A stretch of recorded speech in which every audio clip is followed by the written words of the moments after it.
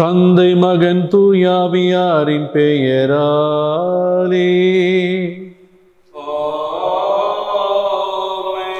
நம் ஆண்டவராகிய இயேசு கிறிஸ்துவின் அருளும் கடவுளின் அன்பும் தூயாவியாரின் அற்புதம் உங்கள் அனைவரோடும் இருப்பதாக.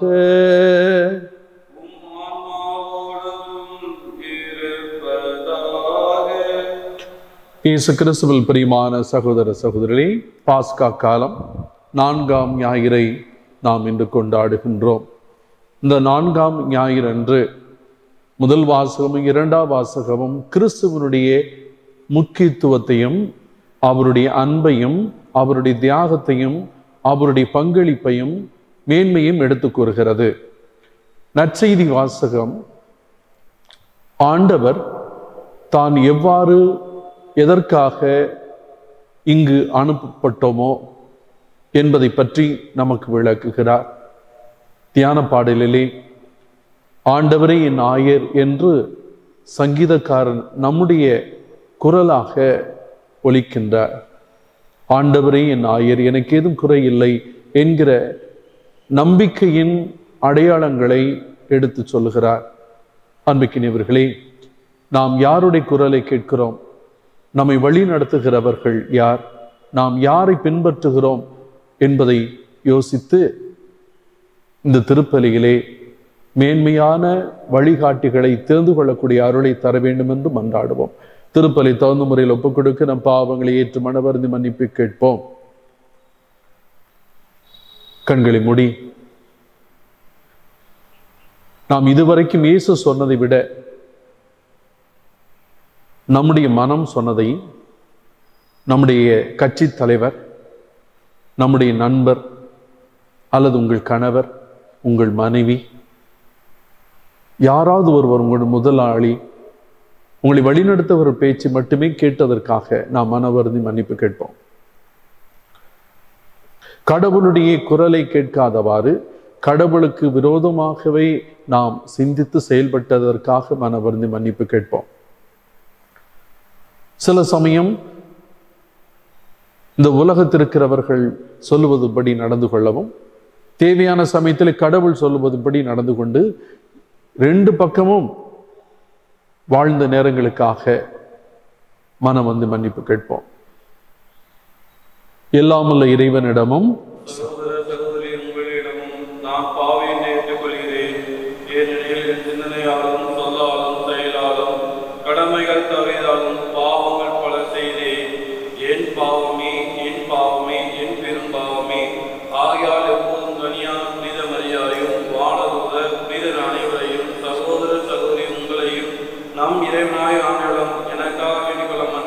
எல்லாமல்ல இறைவன் நம் மீது இரக்கம் வைத்து நம் பாவங்கள் அனைத்து மன்னித்து நம்மை நிலை வாழ்வுக்கு அழைத்து செல்வாராக.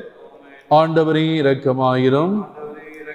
கிறிஸ்துவே இரக்கமாயிரும். ஆண்டவரே இரக்கமாயிரும்.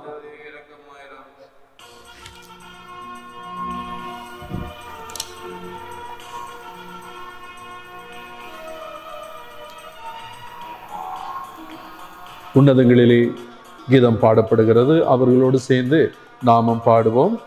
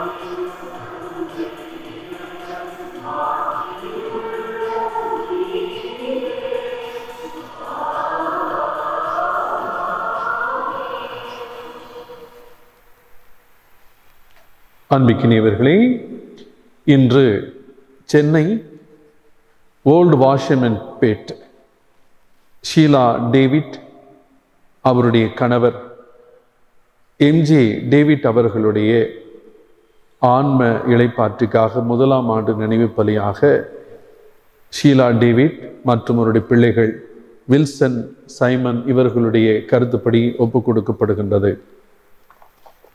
மன்றாடுவோமாக. என்றென்றும் உள்ள எல்லாமல்ல இறைவா. விண்ணவரின் மகிழ்ச்சியில் நாங்களும் பங்கு கொள்ள எங்களை அழைத்து செல்கின்றீர். அதனால் நல்ல ஆயராகிய கிறிஸ்து துணிவோடு முன்னரே சென்றுள்ள இடத்துக்கு பணிவுள்ள மந்தையாகிய நாங்களும் வந்து சேர்வோமாக. உமோடு தூயாவியாரின் ஒன்றிப்பில் இறைவனாய் என்றென்றும் வாழ்ந்து ஆட்சி செய்கின்ற எங்கள் ஆண்டவரும் உம் திருமகனமாகிய இயேசு கிறிஸ்து வழியாக உம்மை மன்றாடுகின்றோம்.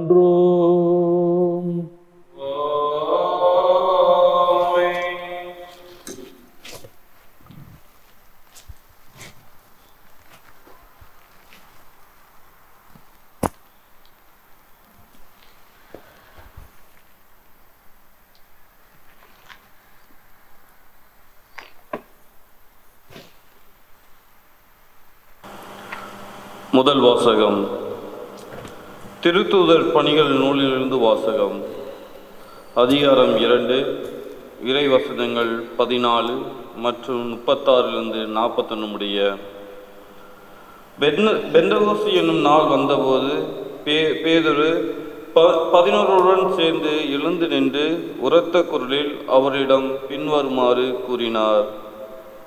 நீங்கள் சிலுவையில் அறைந்த இந்த இயேசுவை கடவுள் ஆண்டவர் மெசியோவும் ஆகிய ஆகினார் என்பதை இஸ்ரேல் மக்களாகிய நீங்கள் அனைவரும் உறுதி உறுதியாக அறிந்து கொள்ளுங்கள். அவர்கள் இதை கேட்டு உள்ளம் குத்- குத்தப்பட்டவர்களாய் பேதுரையும் மற்றும் திருத்தூதர்களையும் பார்த்து சகோதரே சகோதரே நாங்கள் என்ன செய்ய வேண்டும்? என்று கேட்டார்கள். அதற்கு பேதுரு அவரிடம் நீங்கள் மனம் மாறுங்கள்.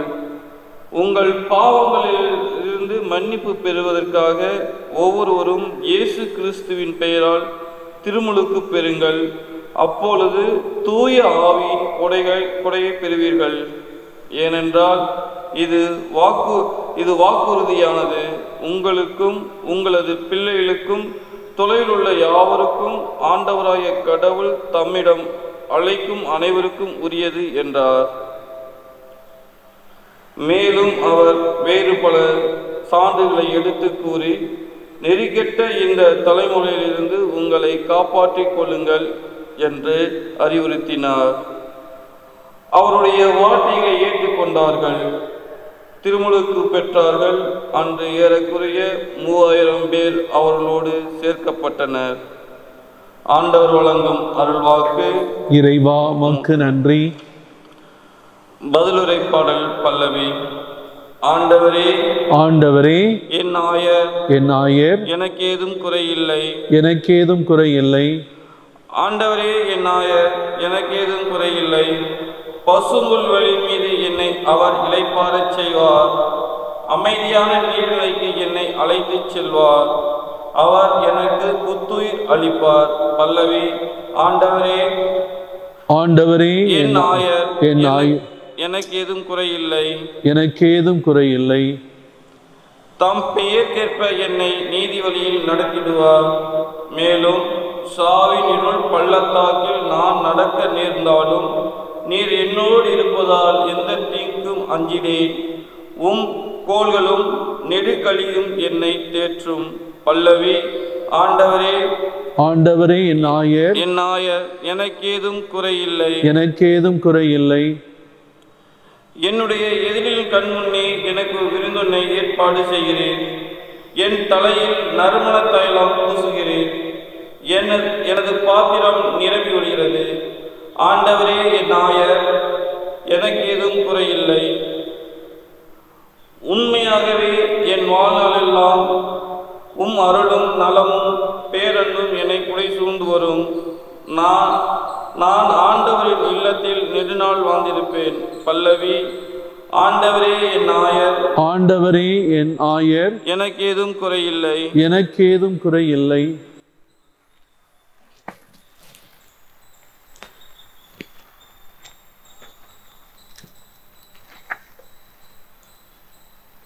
இரண்டாம் வாசகம்.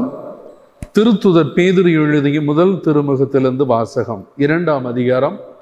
இருபதாம் அதிகாரம் இருபதாவது வசனத்தின் பின்பகுதி மற்றும் முதல் அது முதல் இருபத்தி ஐந்து முடிய உள்ள இறை வசனங்கள் திருத்துதர் பேதுரு எழுதிய முதல் திருமுகத்திலிருந்து வாசகம்.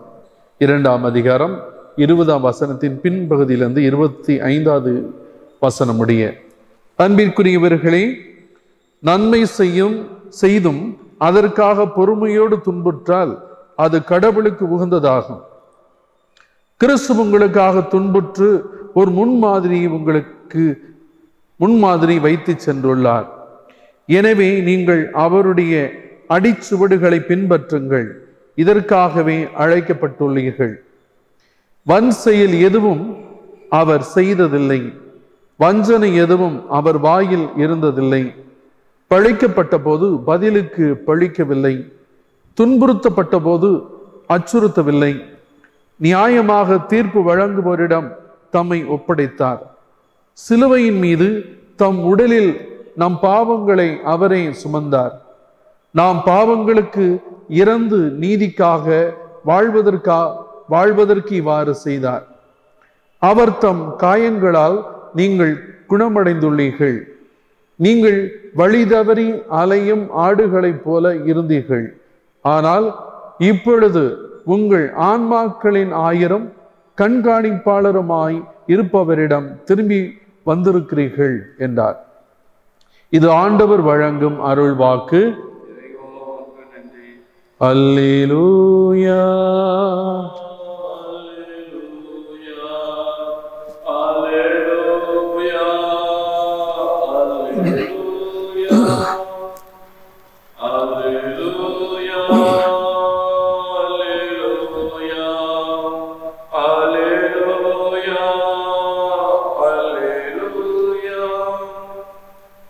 நல்ல ஆயன் நானும் என் ஆடுகளை அறிந்திருக்கிறேன். என் ஆடுகளும் என்னை அறிந்திருக்கின்றன என்கிறார் ஆண்டவர். அல்லேலூயா.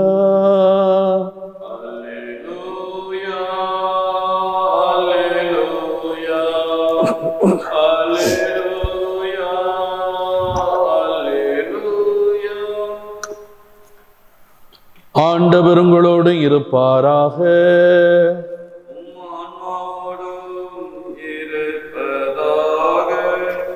புனித யோவான் எழுதிய பரிசுத்த நற்செய்திலிருந்து வாசகம்.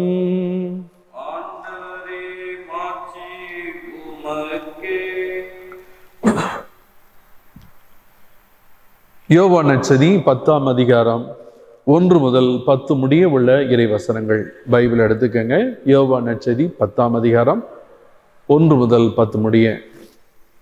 அக்காலத்தில் இயேசு கூறியது உறுதியாக உங்களுக்கு சொல்கிறேன் ஆட்டுக்கொட்டிலில் வாயில் வழியாக நுழையாமல் வேறு வழியாக ஏறி குதிப்போர் திருடர் அல்லது கொள்ளாயராய் இருப்பர். வாயில் வழியாக நுழைபவர் ஆடுகளின் ஆயர்.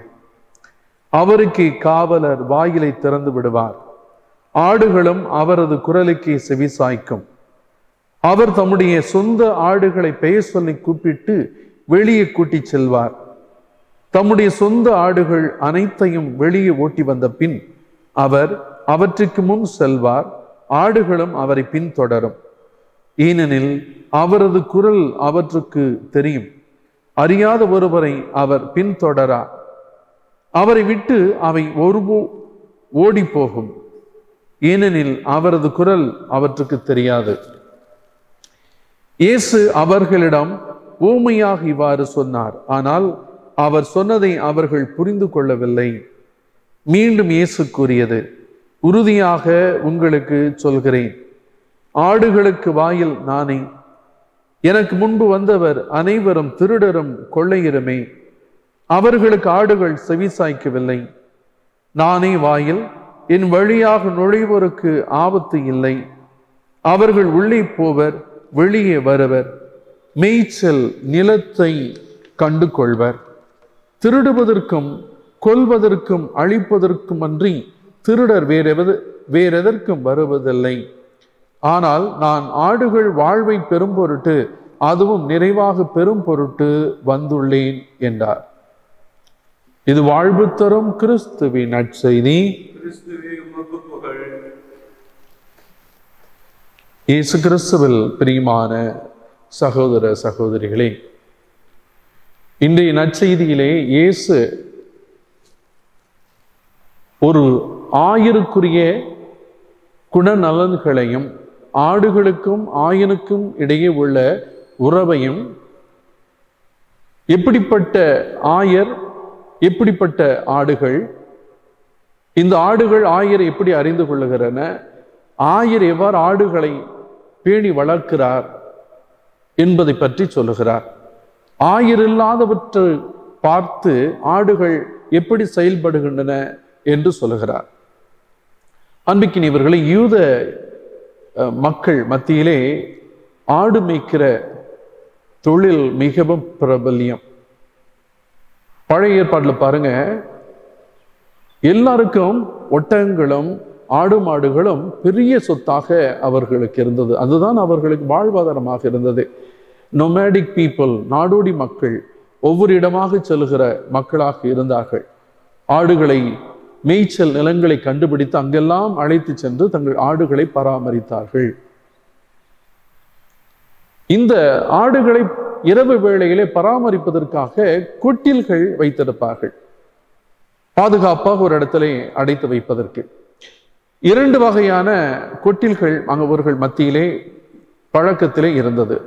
ஒன்று ஆடு மேய்த்து போகிற இடங்களிலே கிராமப்புறங்களிலே காடுகளிலும் மலைகளிலுமே வெட்ட வெளிகளிலுமே ஆடுகளை மேய்த்து கொண்டிருக்கிறார்கள். அந்த இரவு வேளையிலே அவர்கள் என்ன செய்வார்கள்? ஒரு வட்டமாக ஒரு கற்களை அடுக்கி வைத்து அதற்குள்ளே ஆடுகளை பத்திரமாக வைத்து அவர்களுக்கு வா அந்த ஆடுகள் போவதற்கான வாசல் வைத்திருப்பாங்க. வாயில் கற்கள் இல்லாத இடமாக வைத்திருப்பார்கள். அது வழியாக ஆட்டுக்கள் ஆடுகள் எல்லாம் உள்ளே போகும். அங்கே கதவுகள் இருக்காது. அதற்கு அவர்கள் என்ன செய்வார்கள்? கதவு அந்த வாயில் இருக்கிற இடத்துல கதவு இல்லாத இடத்துல இந்த ஆயர் படுத்துக்கொள்வார் அவர் உடம்பு தான் அதற்கு கதவாக இருக்கு. இவர் இப்படி இரவு வேளை படுத்து தூங்கி கொண்டிருக்கிற பொழுது திருடர்கள் யாராவது வந்தார்கள் என்றால் அவர்கள் அந்த கற்கள் அடுக்கி வைத்திருக்கிறார்கள் அல்லவா? அதை ஏறி குதித்து ஆடுகளை திருடி கொண்டு போவார்கள். திரு ஆயர் அல்லாதவர்கள் திருடு வருவதற்கும் கொள்ளையிடுவதற்குமே கொல்வதற்குமே அவர்கள் வருகிறார்கள் என்று சொல்கிறார். நகர்ப்புறங்களில் இருக்கிறவர்கள் என்ன செய்வார்கள்? ஒரு பெரிய கொட்டில் இருக்கும். பொதுவான இடத்திலே பெரிய கொட்டில் இருக்கும். எல்லா ஆயர்களும் மொத்தமாகத்தான் ஆள் மேய்க்க போவார்கள். எல்லாரும். ஒருவரிடம் நூறு இருக்கலாம் இன்னொருவரிடம் ஐநூறு இருக்கலாம் ஒருவரிடம் ஆயிரம் இருக்கலாம். ஒரு சில பத்து ஆடுகள் இருக்கலாம். இவர்கள் எல்லாரும் ஒன்று சேர்ந்து ஆடு மேய்க்க போகிறார்கள். ஆடு மேய்த்து விட்டு மறுபடியும் எல்லாவற்றையும் ஓட்டி வருகிறார்கள். ஓட்டி வந்து ஒரு பொதுவான இடத்துல பெரிய கொட்டிலே இவற்றை அடைத்து விடுவார்கள். அதுக்கு வாயில் இருக்கும் கதவை பூட்டி வச்சுக்குவாங்க வெளியில படுத்துக்குவாங்க. காலையில எழுந்திருச்சோனே முதல் ஆயர் போகிறார். யார் போறாரோ அவர் போய் ஒரு ஆட்டுக்குட்டி பேர சொல்லுவார் அல்லது சத்தம் போடுவார். அந்த ஆடுகளுக்குரிய விதத்திலே அவர் ஒரு ச- சத்தம் போடுவார். அந்த சத்தத்தை கேட்டவுடன் எல்லா ஆடுகளும் திரும்பி பார்க்கும். விழித்து கொள்ளும் அவர் சத்தம் போட்டு விட்டே அவர் போவார் எல்லா ஆடுகளும் அவர் பின்னாலே போய்விடும். மற்ற ஆடுகள் அங்கதான் இருக்கு. இவருடைய ஆடுகள் மட்டும் இவருடைய குரலை கேட்டுட்டு அவருடைய ஆடுகள் மட்டும் வெளியே போகும். வேற ஆடு அவரோட போகாது. அவங்க யாரை பத்தி எதை பத்தியும் கவலைப்பட வேணாம். நம்ம ஆடு அவங்கள்ட்ட போயிடும் அவங்க நம்மகிட்ட வந்துடும் அப்படின்னு இல்லை. ஆடுகளுக்கு புத்தி இருக்கு. அது அவங்க தன்னுடைய ஆயனை கண்டுகொண்டு அவர் குரல் கேட்டு அது குரல் போகிற திசையிலே அது நோக்கி எல்லாம் போகும். அந்த பட்டியலே அவருக்குரிய ஆடுகளோடு எல்லாரும் சேர்ந்து போகிற பொழுது மற்ற ஆடுகளும் சேர்ந்து போய்விடும். இது செம்மறி ஆட்டு புத்தி எல்லாம் கரெக்டா போயிடும் இன்னொரு ஆயர் வருகிறார். அவர் ஒரு சத்தம் போடுகிறார். அந்த ஆடுகளை திரும்பி பார்க்கிறது. அவர் குரலை கே தெரிந்து கொள்கிறது. அவர் போகிறார் அவர் பின்னாலே போகிறார். இப்படியாக எல்லாரும் அவரவர்களுடைய ஆடுகளை அழைத்து முன்னே செல்வார்கள். மற்ற ஆடுகள் அவருடைய ஆடுகள் எல்லாம் அவரை பின்தொடரும். அவர்கள் எங்கெல்லாம் மேய்ச்சல் நிலங்களை முந்தின தினம் கண்டு வைத்திருக்கிறார்களோ அங்கே கூட்டிட்டு போவார். முதல்ல தண்ணி காமிப்பாங்க. நல்ல நீர் ஓடை நிலத்திலே அழைத்து செல்வார். அமைதியார் நீர்நிலைகளுக்கு என்னை அழைத்து செல்வீர். எனக்கு புத்துயிர் ஊட்டுகிறீர். தம் பெயருக்கேற்ப என்னை நீதி வழி நடத்திடுவீர்.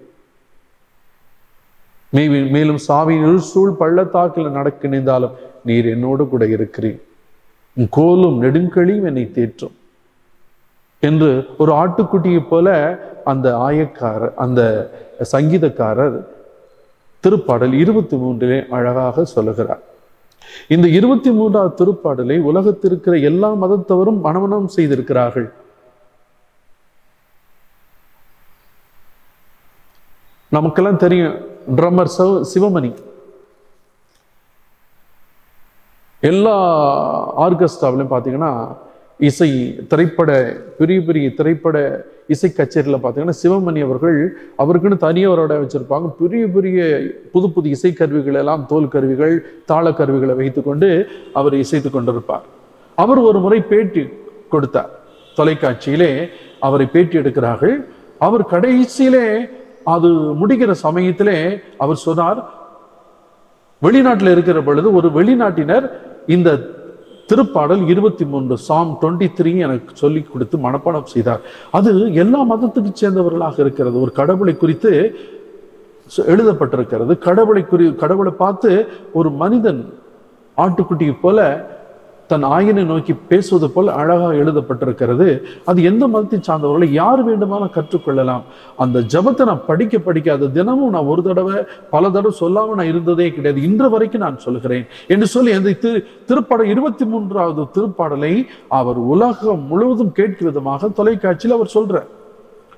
அதை படிச்சதுல இருந்து என் வாழ்க்கையில் எவ்வளோ ஆறுதல் எவ்வளவோ நம்பிக்கை எவ்வளோ வளர்ச்சி எவ்வளோ வெற்றிகள் எனக்கு கிடைத்திருக்கிறது.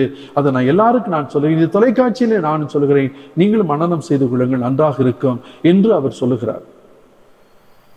இயேசு எல்லாருக்கும் பொதுவானவர். திருப்பாடல் ஒன்று குறைந்தீர் ஒன்றாம் அதிகாரம் மூன்றாம் வசனத்திலே நிவாராக படிக்கிறோம். என்ன படி எடுங்க. ஒன்று குறைந்தீர் ஒன்றாம் அதிகாரம் மூன்றாவது வசனம். ரோமியர்கள் திருமுகத்துக்கு அடுத்து வரும்.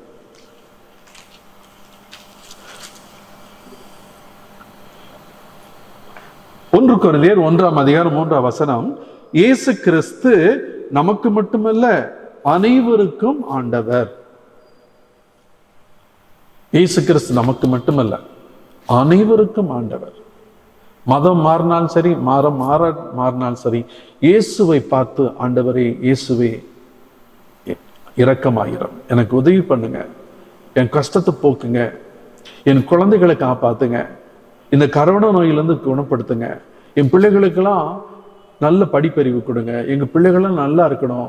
எங்கள் பிள்ளைகளும் எங்கள் சொன்ன வச்சு கேட்கணும். கடவுளுடைய பிள்ளையாக இருக்கணும். அப்படின்னு கேட்டால் ஆண்டவர் கொடுப்பார்.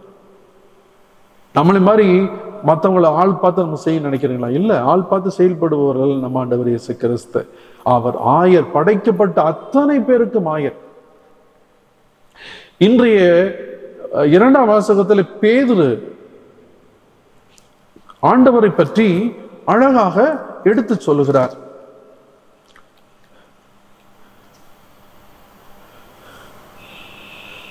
ஆவியால் ஆட்கொள்ளப்பட்டு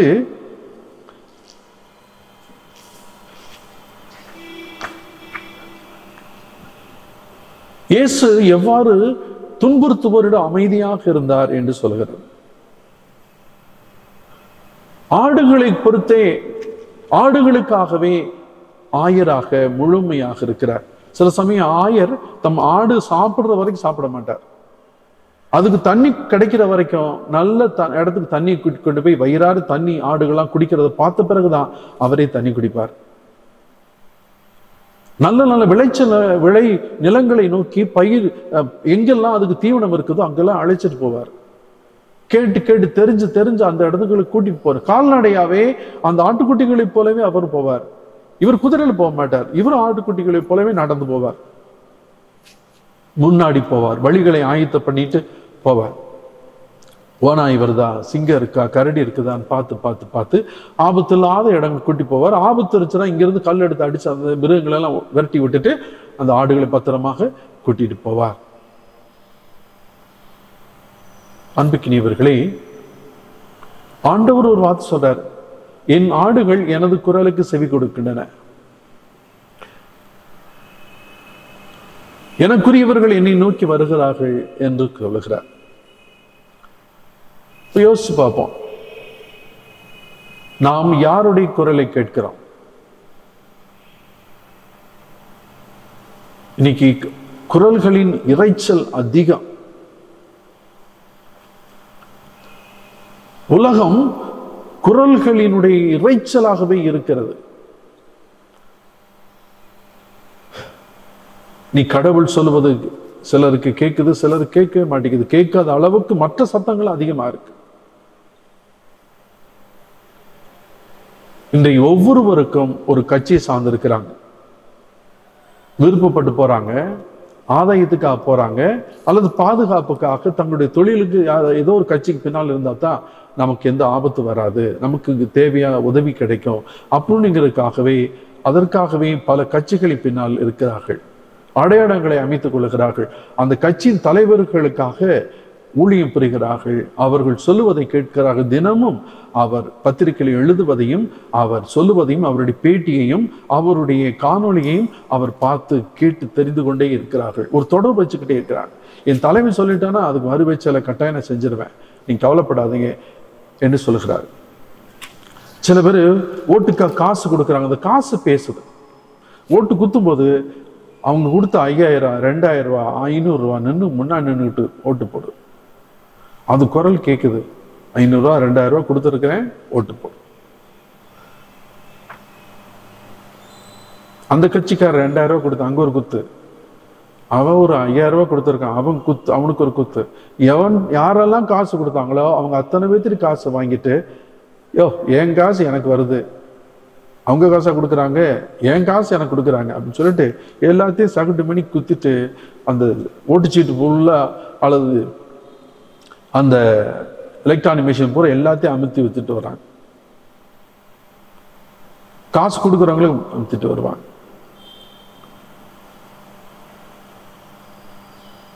சில பேருக்கு பார்த்தீங்கன்னா நடிகர். இளைஞர்கள் பார்த்தீங்க இளைஞர் இளைப்பெண்கள்லாம் அவங்க மாதிரியே ட்ரெஸ் பண்ணிக்கிறாங்க. அவங்க மாதிரியே க- தங்களுடைய கதாநாயகனை போல நடிகரை போல அவங்களுக்கு ரசிகர் மன்றத்தை அமைச்சு நடிகர் மன்ற செயலாளராக ஊழியராக அவன் பிறந்த நாளுக்கு இவன் காசை வாங்கிட்டு இவன் காசை போட்டுட்டு கோயில பூஜை பண்றாங்க. நலத்திட்ட உதவிகள் வழங்குறாங்க. அவங்க சொன்ன பேச்சும் கேட்கலாம் அப்ப அத்தா பேச்சை கேட்கறது இல்ல. கொஞ்ச நாளைக்கு முன்னாடி இந்த பெண்கள் வந்து இந்த இப்படி இந்த இடத்துல மட்டும் இப்படி- இப்படி உயரமா முடிய வச்சு பண்ணிக்கிட்டு இருந்தாங்க. என்னம்மா புதுசா ஹேர் ஸ்டைல் என்ன அப்படி கட்டிட்டு இருக்கு? எல்லாருமே ஒன்னா போட்டிருக்கீங்க. இதுதான் லேட்டஸ்ட் ட்ரெண்ட் ஃபாதர் அந்த நடிகை இந்த படத்துல போட்டிருந்தாங்க. அது நல்லா இருக்குது. பார்த்த காரி மாதிரி இருக்கு. ஆனா அது எங்களுக்கு நல்லா இருக்கு அழகா இருக்கு அப்படின்னு சொல்லிட்டு அதை போட்டுட்டு வராங்க. நடிகை பத்தி நமக்கு தெரியும். அவங்க அப்படியே குளிச்சுட்டு மேக்கப் போட்டுட்டு பல பல பல ட்ரெஸ்ஸை போட்டுட்டு அப்படி சினிமாவில் வரும்போது ஆகா அவங்க ரொம்ப யோக்கியமானவங்க ரொம்ப ஒழுக்கமானவங்க அருமையானவங்க. அவங்க தான் ரோல் மாடல் நமக்கு நல்லவங்க என்று சொல்லி நினச்சிட்டு அவங்கள மாதிரியே ட்ரெஸ் பண்ணுறாங்க அவங்க மாதிரி முடி ஓட்டுக்க முடிய வச்சுக்கிறாங்க. முடி வெட்டிக்கிறாங்க.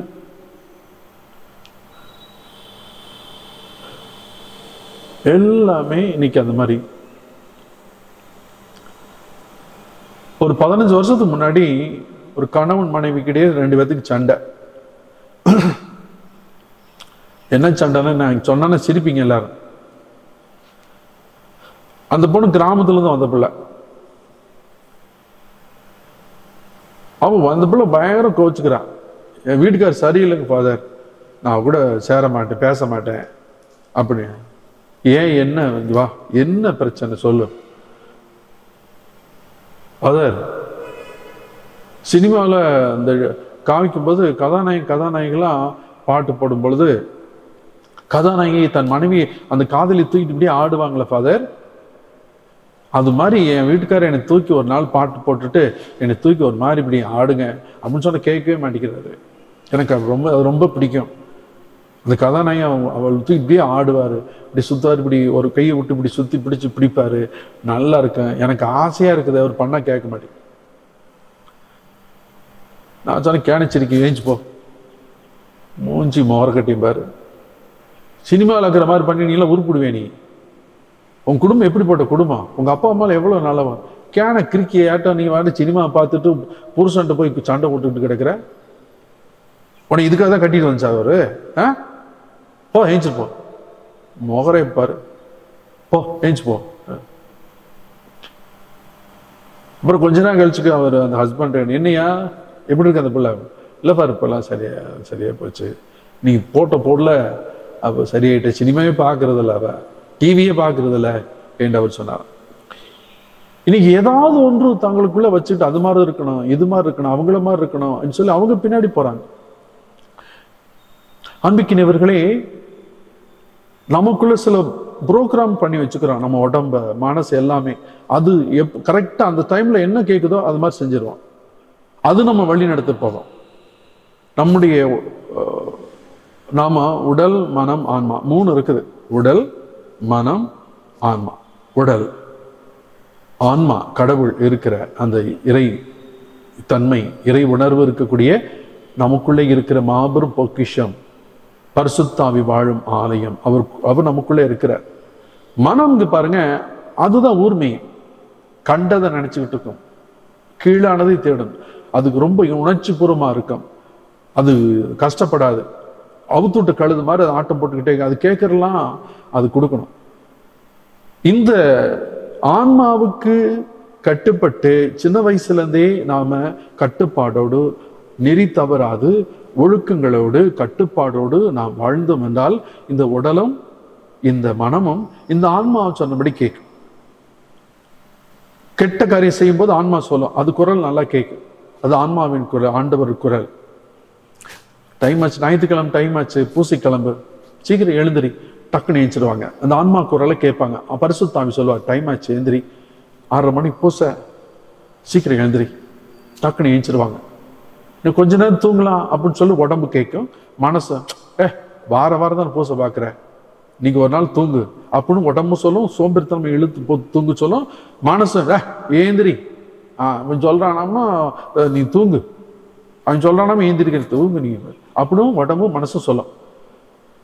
நம்ம ஆன்மா சொன்னபடி வளர்ந்துருந்தோம்னா நம்முடைய நல்ல பழக்க வழக்கங்களோடு அப்பா அம்மா சொன்னபடி கட்டுப்பாடோடு வளர்ந்துருந்தோம்னா ஆன்மா அப்பா அம்மா சொல்றது கடவுள் சொன்னது எப்பொழுதும் நம்ம கேட்டுக்கிட்டே இருக்கு பக்கத்துல கேட்டுக்கிட்டே இருக்கு உடனே நம்ம எழுந்திரிச்சு "ஏ, போ போ அப்பாலே சாத்தானே. என்று ஏசு சொன்னார் பாருங்க. அது மாதிரி போ அப்பாலே சாத்தானே. என்று சொல்லிட்டு டக்குன்னு போய் தூக்கி வீசி எறிஞ்சு டக்குன்னு ஏந்திருக்கிற பாருங்க. அப்ப நாம ஆண்டவர் குரலை கேட்ட ஆடுகளாக இருக்கிற என்றோம் சில பேர் நைட்டு படுக்கு தூங்குற வரைக்கும் செல்போனை பக்கத்துல வச்சுட்டு இப்படியே பார்த்துக்கிட்டே இருப்பாங்க. சினிமா பார்த்துக்கிட்டே இருப்பாங்க. எல்லாத்துக்கூடையும் வீடியோ சாட் அப்படியே பண்ணிக்கிட்டே இருப்பாங்க. அப்படியே போட்டு படுத்து அப்படியே தூங்கிடுவாங்க. காலையில் முழிச்ச உடனே செல்ஃபோன் எடுத்து ஃபர்ஸ்ட் செல்ஃபோன் தான் எடுப்பாங்க. யார் என்ன பண்ணியிருக்காங்க என்னென்ன வந்திருக்குதுன்னு சொல்லி பார்த்துட்டு அப்புறமேட்டு தான் வீட்டில் அம்மாவோ யாராவது எடு செருப்பில். செருப்பு எடு விளக்கு மாத்தெடு நாய் கால் ஏஞ்சோன்னு எதை பார்த்துக்கிட்டு இருக்குவார் நாய். செல்ஃபோன் நோண்டிக்கிட்டு இருக்குவார் என்று சொல்லும்போது டக்குன்னு செல்வம் வந்துட்டு ஏஞ்சி ஓடுறாங்க பாரு. அது ஆண்டவர் குரல் நம்ம கேட்கல. செல்போனு அது உள்ளுக்கு செல்போன்லேருந்து ஆயிரம் பேர் லட்சம் பேர் வந்துக்கிட்டே இருக்கிறானுங்க. அவன் அவன் சொல்றதெல்லாம் கேட்டுக்கிட்டே இருக்கிறாங்க வீட்டில் அப்பா அத்தான் சொல்றது கேட்க மாட்டாங்க. வீட்டில் மனைவி சொல்றது கேட்க மாட்டாங்க. கனவு சொல்றது கேட்க மாட்டாங்க. யார் சொல்லும் கேட்க மாட்டாங்க. செல்போனில் அது சொல்றதான் கேட்கும். இந்த மனசு உடம்பு ஆன்மா பேசாமல் உட்காந்துக்கும் இந்த உடம்பு கேட்கறதெல்லாம் கொடுப்பாங்க. இந்த அவயவங்கள் ஐம்புலன்கள் என்னென்ன கேட்குதோ அது எல்லாம் கொடுக்கிறது. மனசு எதெல்லாம் கேட்குதோ அதெல்லாம் சொல்றது அதுக்கு சொல்றது உடம்பு கேட்கறது உடம்பு உறுப்பு என்னென்ன கேட்குதோ அதெல்லாம் செய்யறது. நான் ஒரு முறை ஒரு கா- ஒரு காலேஜ் பாய் வந்து சொன்னா ஃபாதர் நான் காலேஜ் படிக்கும் பொழுது நான் ஒரு வீதி வழியாக போவேன். அங்கே ஒரு பிள்ளைய பார்ப்பேன். அந்த வீட்டில் சூப்பராக இருக்கு அந்த பிள்ளை ஃபிகரு சூப்பர் ஃபிகரு அவளை பார்க்காம என்னால் இருக்க முடியாது. ரொம்ப அழகாக இருப்பா ஃபாதர் என்னமோ அவனுக்கு பிடிச்சி போச்சு அவனுக்கு. அவ அந்த வீட்டில் போனோடனே சைக்கிளில் தான் போவேன் ஃபாதர் அந்த வீட்டுக்கிட்ட போன என் தலை டக்குன்னு திரும்பி அவன் வீட்டை பார்க்க. ஒரு நிக்கிறாளா மாட்டை மாட்ட மாடல பார்க்க நிற்கிறாளா எங்கே நிற்கிறா அப்படின்னு பார்க்க சொல்லும் அதே மாதிரி வரும்போது கரெக்டாக அவன் வீடு வந்து தலை திரும்பிக்கும் அவன் வீட்டை. எவ்வளவோ முயற்சி பண்றேன் இங்க தானா என் உடம்பு டக்குன்னு அந்த இடத்துல வந்து திரும்பிடும் அப்படியே நின்றுட்டானா நாங்கள் சைக்கிள் நிறுத்திட்டு இதை பா அப்படியே பார்த்துட்டு இருப்பேன். இங்கே ஏதோ நின்று ஏதோ இப்போ சைக்கிள் ரிப்பேர் பண்ண மாதிரி புஸ்தம் புஸ்தகம் படிக்கிற மாதிரி நின்று அவளை பார்த்துக்கிட்டே இருப்பேன். பயங்கரம். அந்த மாதிரி அவன் மனசை உடம்பு எல்லாமே ப்ரோக்ராம் பண்ணி வச்சுட்டான்.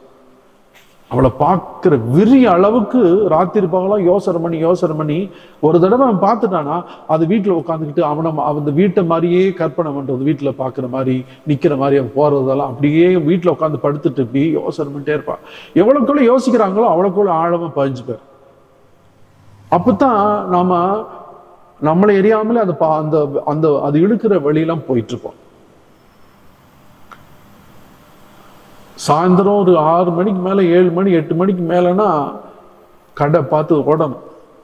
போய் சரக்கு அடிச்சா தான் ஒரு கட்டிங் போட்டால் தான் சில பேர் காலையில் எழுந்திரிச்சோன்னே கட்டிங் போடுறாங்களா உண்டு. அளவுக்கு மீறி ஐம்பது ரூபா எக்ஸ்ட்ரா பரவாயில்ல கொடு. கையில் நடுங்குது கொடு போடு. இறங்க இறங்க இன்னொருத்தன் வந்துட்டான மாப்பிள்ள போலாமா? ஆ வா போலாம் அவனுக்கிட்ட ஒரு கட்டிங் ஒரு நாளைக்கு ஃபுல்லு கூட அடிக்கிற மாதிரி கட்டிங் அடிச்சுக்கிட்டே இருப்பாங்க. அதுக்கு அதுதான் அது குரலை தான் கேட்டுக்கிட்டு இருப்பான். வீட்டு சொன்ன பேச்சும் கேட்க மாட்டாங்க. சில பேர் டிவி சீரியல் அந்த டைம் ஆச்சுன்னா யார் பேச்சும் கேட்க மாட்டாங்க. ஒரு தடவை முடிய மாட்டேன்னா டிவி பார்க்கணும் முடிய மாட்டேனா நான் என் பேச்சை நானே கேட்க மாட்டேன் அப்படின்னு சொல்லிட்டு பார்த்துட்டு இருப்பாங்க. இன்னைக்கு யார் பேச்சை நம்ம கேட்குறோம்? சரி ஒரு ஒரு- ஒரு விஷயம் நான் உங்களுக்கு கேட்குறேன். ஏசு நான் சொன்னா நான் கட்டாயம் கேட்பேன். அப்படிங்கிறத கை தூக்குங்க. நீங்க எங்கேயோ இருக்கிறீங்க உலகத்தை நீங்க எங்க இருந்து இதை பார்த்துக்கிட்டு இருந்தாலும் சரி நீங்க கை தூக்குங்க. ஏசு சொன்னா நான் கட்டாயம் கேட்பேன். அப்ப கை தூக்குங்க. எல்லாருமே தூக்குன மாதிரி தெரியுது. எல்லாருமே உங்க மனசுல நீங்க கை தூக்கலன்னா கூட சாமியார் பார்க்க போகிறான்னு நினச்சிக்கிட்டு இருக்கிறீங்க.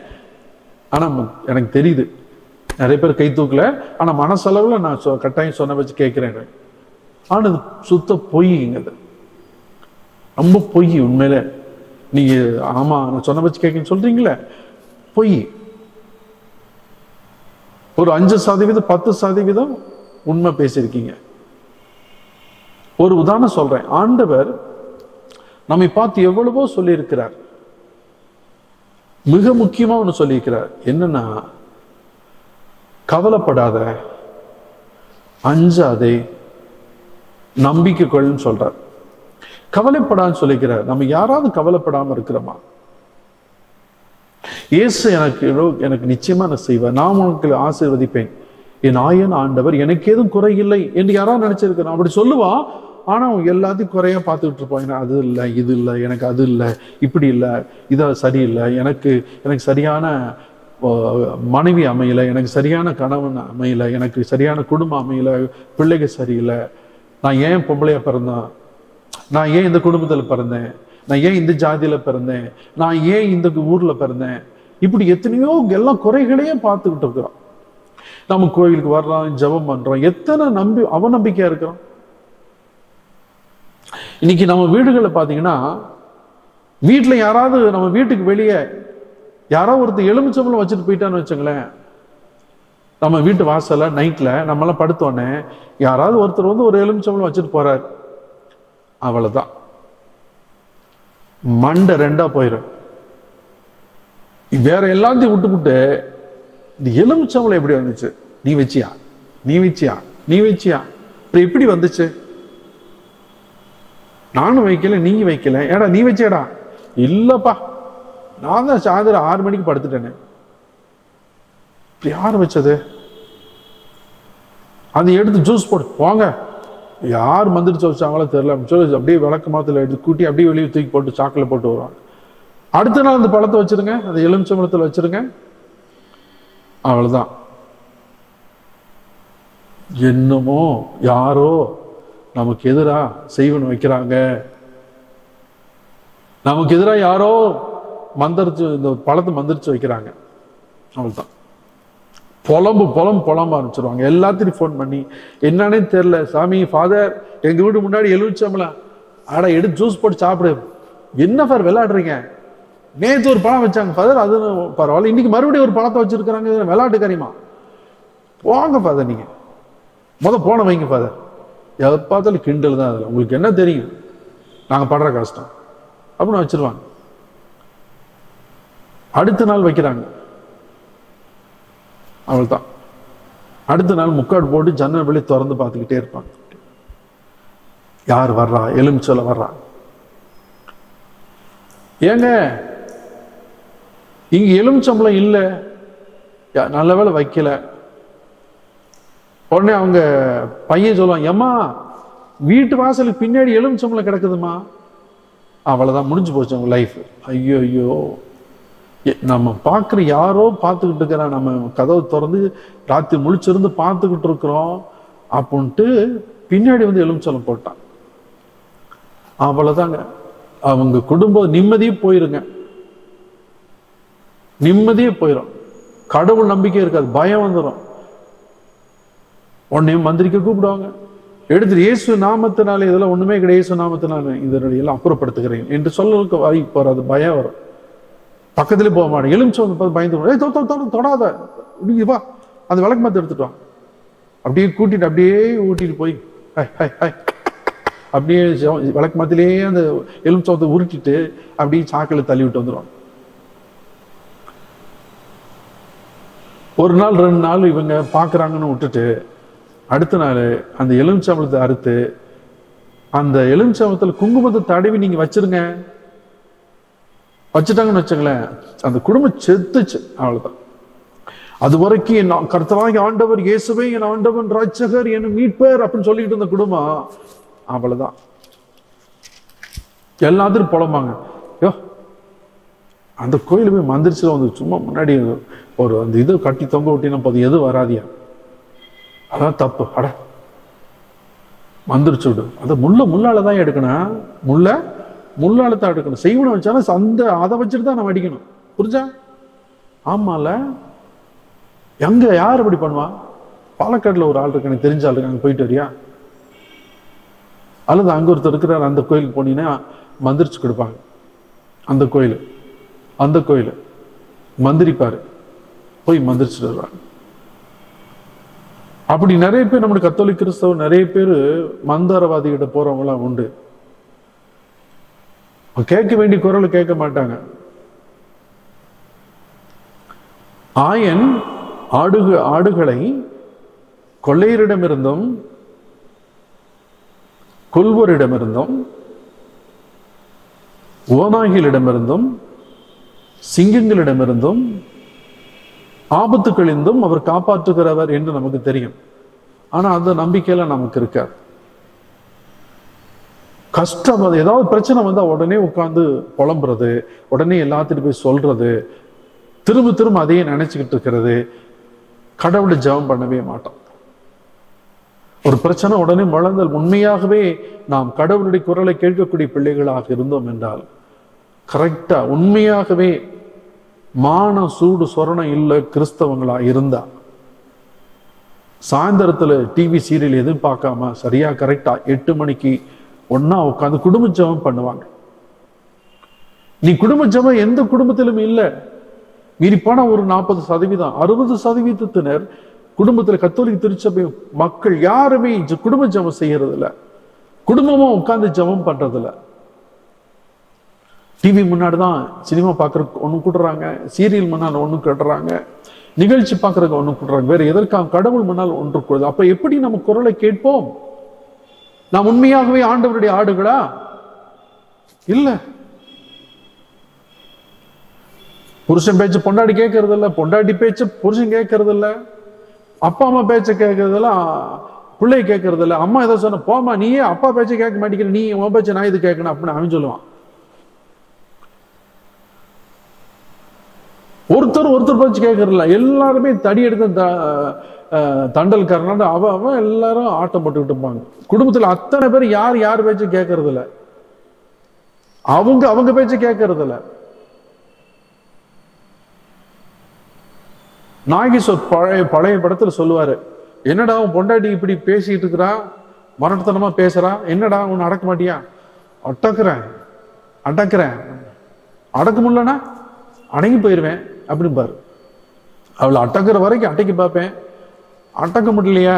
அடங்கி தான் போய் ஆனால் நீ நிறைய குடும்பத்தில் அமைதியாக இருக்க காரணம்னா நிறைய அடங்கி போயிருக்காங்கன்னு அர்த்தம். ஒருத்தர் அடாவடியாக ஒரு ஒரு சிலர் அடாவடியாக இருக்கிறது எல்லாத்தையும் சகிச்சுக்கிட்டு இருக்கிறதுனால தான் நிறைய குடும்பங்கள் அமைதியாக இருக்குது. அன்புக்கினியவர்களே சாத்தானுக்கு பயந்து அடிபணிச்சு போகக்கூடாது. ஆண்டவர் சொல்றது கேட்கிறதா? இவன் சொல்றது கேட்கிறதா? சில சமயத்தில் ரெண்டுமே அனுசரிச்சு போய்க்கும்.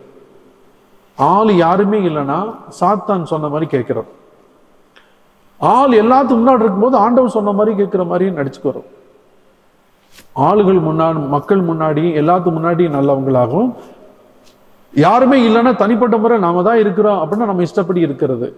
அது தப்பு. ரெட்டை நாக்கு ரெட்டை வேடம் ரெட்டை ம- புத்தி ரெட்டை மனசு ரெட்டை நாக்கு ரெட்டை வாழ்க்கை. எல்லாமே ரெட்டையா இருக்கு ஆக எங்க என்ன இருக்குதோ அகம் எப்படி இருக்குதோ அதுதான் புறம். புறம் எப்படி இருக்குதோ அதுதான் அவர்களுக்குள்ளே அகம். கனிகளை கொண்டே மரத்தை அறிந்து கொள்ளலாம். ஒருவருடைய செயலை கொண்டே அறிந்து கொள்ளலாம். ரொம்ப நாளைக்கு எல்லாருமே நாம் ரெட்டவடம் போடவே முடியாது. அதான் சொல்ற உன் பேச்சு ஆம்னா ஆம்னரு இல்லைன்னா இல்லைன்னு ஒண்ணு என் பின்னாடி வா. இல்லைன்னா இஷ்டப்படி இருந்துக்க. யோபு எல்லா மனைவி அத்தனை பேர் திட்டுறாங்க நண்பர்லாம் திட்டுறாங்க. என்னையா புத்தி இல்லையா? இப்படி இல்லை நான் இப்படி இன்னும் இவ்வளவு ஆன பிறகும் நீ கடவுள் கடவுள்கிட்டே இருக்கிற இப்போ சொல்றாரு கடவுள் கொடுத்தாரு கடவுள் எடுத்துக்கிட்டாரு. கடவுள் நல்லது கொடுக்குற மட்டும் நான் எடுத்துக்கிறேன் இதை நான் எடுத்துக்கூடாதா? கடவுள் மீது வைத்திருந்த நம்பிக்கையை அவர் இழக்கவே இல்லை. அவர் பேச்சை தான் கேட்டார். ஆனா கடவுள் அவரை பன்மடங்கா திருப்பி கொடுக்கிறார். யோபுவை அழிக்க வேண்டும் என்பதற்காக அல்ல அவரை உரை நமக்கெல்லாம் நம்மை போல மக்களுக்கெல்லாம் ஒரு ஒரு வாழ்க்கை என்றால் கடவுள் மீது எப்படி பற்று கொண்டிருக்க வேண்டும் என்பதற்கு அடையாளமாக அவர் வைத்திருந்தார். அதுக்குரிய ஆற்றலையும் அவர் கொடுத்திருந்தார். அந்த துன்பங்கள் மத்தியிலே அவரை கூட இருந்து வழி நடத்திட்டு போறார். ஆனா அதை விடல. யோபுவ கூடவே இருக்கிறார். சாத்தம் குடும்பப்படுத்துறான். ஆனா அதை வெல்லக்கூடிய ஆற்றலையும் கூடவே கொடுத்துக்கிட்டே இருக்கிறார். பொண்டாட்டி பிள்ளைங்க எல்லாரும் நண்பர் அத்தனை பேர் ஒதுங்கி போனாலும் தனியா நின்னாலும் கூட கூடவே இயேசு இருக்கிறார். கடவுள் இருக்கிறார். ஆபிரகாம் முன்னாடி இருந்த தேவன் அவரோட கூடவே இருக்கிறார். அவர் கூட வழி நடத்திட்டு போறார். அன்புக்கினியவர்களே கஷ்டம் வருகிற பொழுது ஆண்டவர் மறுதளிக்கிறது நம்முடைய பலவீனமான நம்பிக்கையை காண்பிக்கிறது. ரெட்டை வேடம் போட்டுட்டு பாவம் செய்ய வேண்டிய சூழல் வருகிற பொழுது அதுக்கு தகுந்த மாதிரியும் நல்லவன் மாதிரி நடிக்க வேண்டிய சூழல் வருகிற பொழுது நல்லவனாக நடிப்பதற்கும் நம்ம கரெக்டாக நேரம் பார்த்து ப்ரோக்ராம் பார்த்து ஆளுகளை பார்த்து நம்ம அட்ஜஸ்ட் பண்ணி எப்படி எப்படி நடக்கணுமோ எப்படி ந- வாழணுமோ ஆடுற மாட்டை ஆடி கிடக்கணும் பாடுற பாட்டை பாடி கிடக்கணும் என்று ஆளுக்கு தகுந்த மாதிரி நேரத்துக்கு தகுந்த மாதிரி வாழ்ந்துக்கிட்டே இருக்கிறோம்னு வச்சுங்களேன். நம்ம ஏமாற்றி கொள்ளுகிறோம் என்று அர்த்தம். நமக்கே இது தோணும். நம்ம அப்படி ரெட்டவது எல்லாம் ஏமாத்திட்டு பொழைக்க நீங்க அட்ஜஸ்ட் பண்ணிட்டு போயிடும். நீங்க தெரியுங்களா? சர்வைவல் ஆஃப் த ஃபிட்டஸ்ட் அந்த காலத்தில் டார்வின் சொன்னார். எந்த உயிர் காலத்துக்கு ஏற்றவாறு தக அமைத்துக் கொள்கிறதோ தன்னை மாற்றிக் கொள்கிறதோ அந்த உயிர்கள் தான் தொடர்ந்து நீடித்து பிழைக்கும். காலத்துக்கு ஏற்றவரை தன்னை மாற்றிக்கொள்ளாத வாழத் தெரியாத அத்தனை உயிர்களும் அழிந்து போகும். இந்த உலகத்திலிருந்தே எக்ஸ்டிங்டாக அது வந்து அழிந்தே அழிந்து போகும். கண்காட்சியை தான் வைக்கணும். சர்வைவல் ஆஃப் த ஃபிட்டஸ்ட் இப்ப என்ன தெரியுங்களா? Quickest survival of the quickest எவ்வளவு சீக்கிரமோ டக் டக் டக் டக்குன்னு மாறிட்டு போயிட்டே இருக்கணும். யோசிக்கிட்ட இரு சொல்றேன். இரு பாக்குறேன். என்னாச்சு? என்ன முடிவு எடுக்கல? இல்ல யோசிக்கிறேன். இரு கொஞ்சம் இருங்க. அப்புறம் அப்புறம் ஸோ அப்புறம் சொல்லிட்டேன். கொஞ்சம் கொஞ்சம் டைம் கொடுங்களேன். நான் பார்க்குறேன். நீ சொல்கிறத ஏற்றுக்கிறேன் நான் கொஞ்சம் டைம் கொடுங்க. நான் பார்க்குறேன். இப்படி யோசனை பண்ணி மண்ணு மாதிரி யோசனை பண்ணிட்டு இருந்தாலும் பிழைக்க மாட்டாங்க. குயிக்கஸ்ட் அடுத்த செகண்ட் போய்கிட்டே இருக்கணும். ஓ இன்றைக்கு technology digital world every second புது புது மாற்றம் வந்துக்கிட்டே இருக்கு டெக்னாலஜி இன்னைக்கு ஒரு கேமரா ஆப்ரேட்டர் வச்சுக்கல கேமராமேன் அவர் டெய்லி புது புது தரவுகள் புது புது டெக்னாலஜி என்ன வந்துகிட்டே இருக்கணும் பார்த்துக்கிட்டே இருக்கணும். ஐடி ஃபீல்டில் வேலை செய்கிறவங்க டெய்லி ஐடி புது புது என்னென்ன வந்துகிட்டே இருக்கு? என்னென்ன நியூ கம்ப்யூட்டர் லாங்குவேஜ் இருக்கு? என்னென்ன ப்ரோக்ராமிங் என்னென்ன வந்துகிட்டு இருக்கு? அப்படின்னு பார்த்துக்கிட்டே இருக்கணும். அப்படி படிச்சுக்கிட்டே இருந்தால் தான் அவங்க நிலைச்சு நிற்க முடியும். இல்லை கம்ப்யூட்டர் சயின்ஸ் படிக்கும் பொழுது நான் ட்ரிபிள் இ படிக்கும் பொழுது எல்லாம் என்ன படிச்சிட்டனோ அதை வச்சுக்கிட்டே இருபது வருஷம் ஓட்ட முடியாது. வேலை கிடைச்சிருச்சுப்பா அது போதும். அவங்க பழக்க முடியாது. குயிக்கஸ்ட் டெய்லி அடுத்து அப்டேட் பண்ணிக்கிட்டே இருக்கணும். புதுப்பிச்சுக்கிட்டே இருக்கணும். உலகத்துல என்ன அது அடுத்து என்ன நெக்ஸ்ட் என்ன வந்திருக்குது இதான் ஓகே அதையும் பார்த்து கற்றுக்குவாங்க இப்போ ஒரு கேமராமேன் பார்த்தீங்கன்னா புது கேமரா வச்சா அதை வாங்கி பார்ப்பார் போய் எல்லாம் படிச்சுட்டு என்ன கேமரா புதுசாக வந்திருக்கு இதா? ஓகே ஓகே இது என்ன? இது என்ன ஸ்பெஷல் என்ன ஸ்பெக் என்ன இருக்கு? ஸ்பெகுலேஷன்ஸ் என்ன இருக்கு? அப்படியா? நல்லா இருக்கே. ரொம்ப சீப்பாகவும் இருக்கு. அருமையா இருக்கே. ஆனால் அதுக்கு இது கம்பேர் பண்ணும்போது ஆனால் இது சரி இல்லையே இல்லை இல்லை இது நல்லா இருக்குது அந்த ஃபீச்சர்ஸ் கொஞ்சம் ஸ்ட்ராங்காக இருக்கு. ஆமாம் இதை வச்சு நம்ம பண்ணலாம். அப்படி அடுத்தது கற்றுக்கிட்டே போவாங்க. இந்த லைட்டிங் பாருங்க.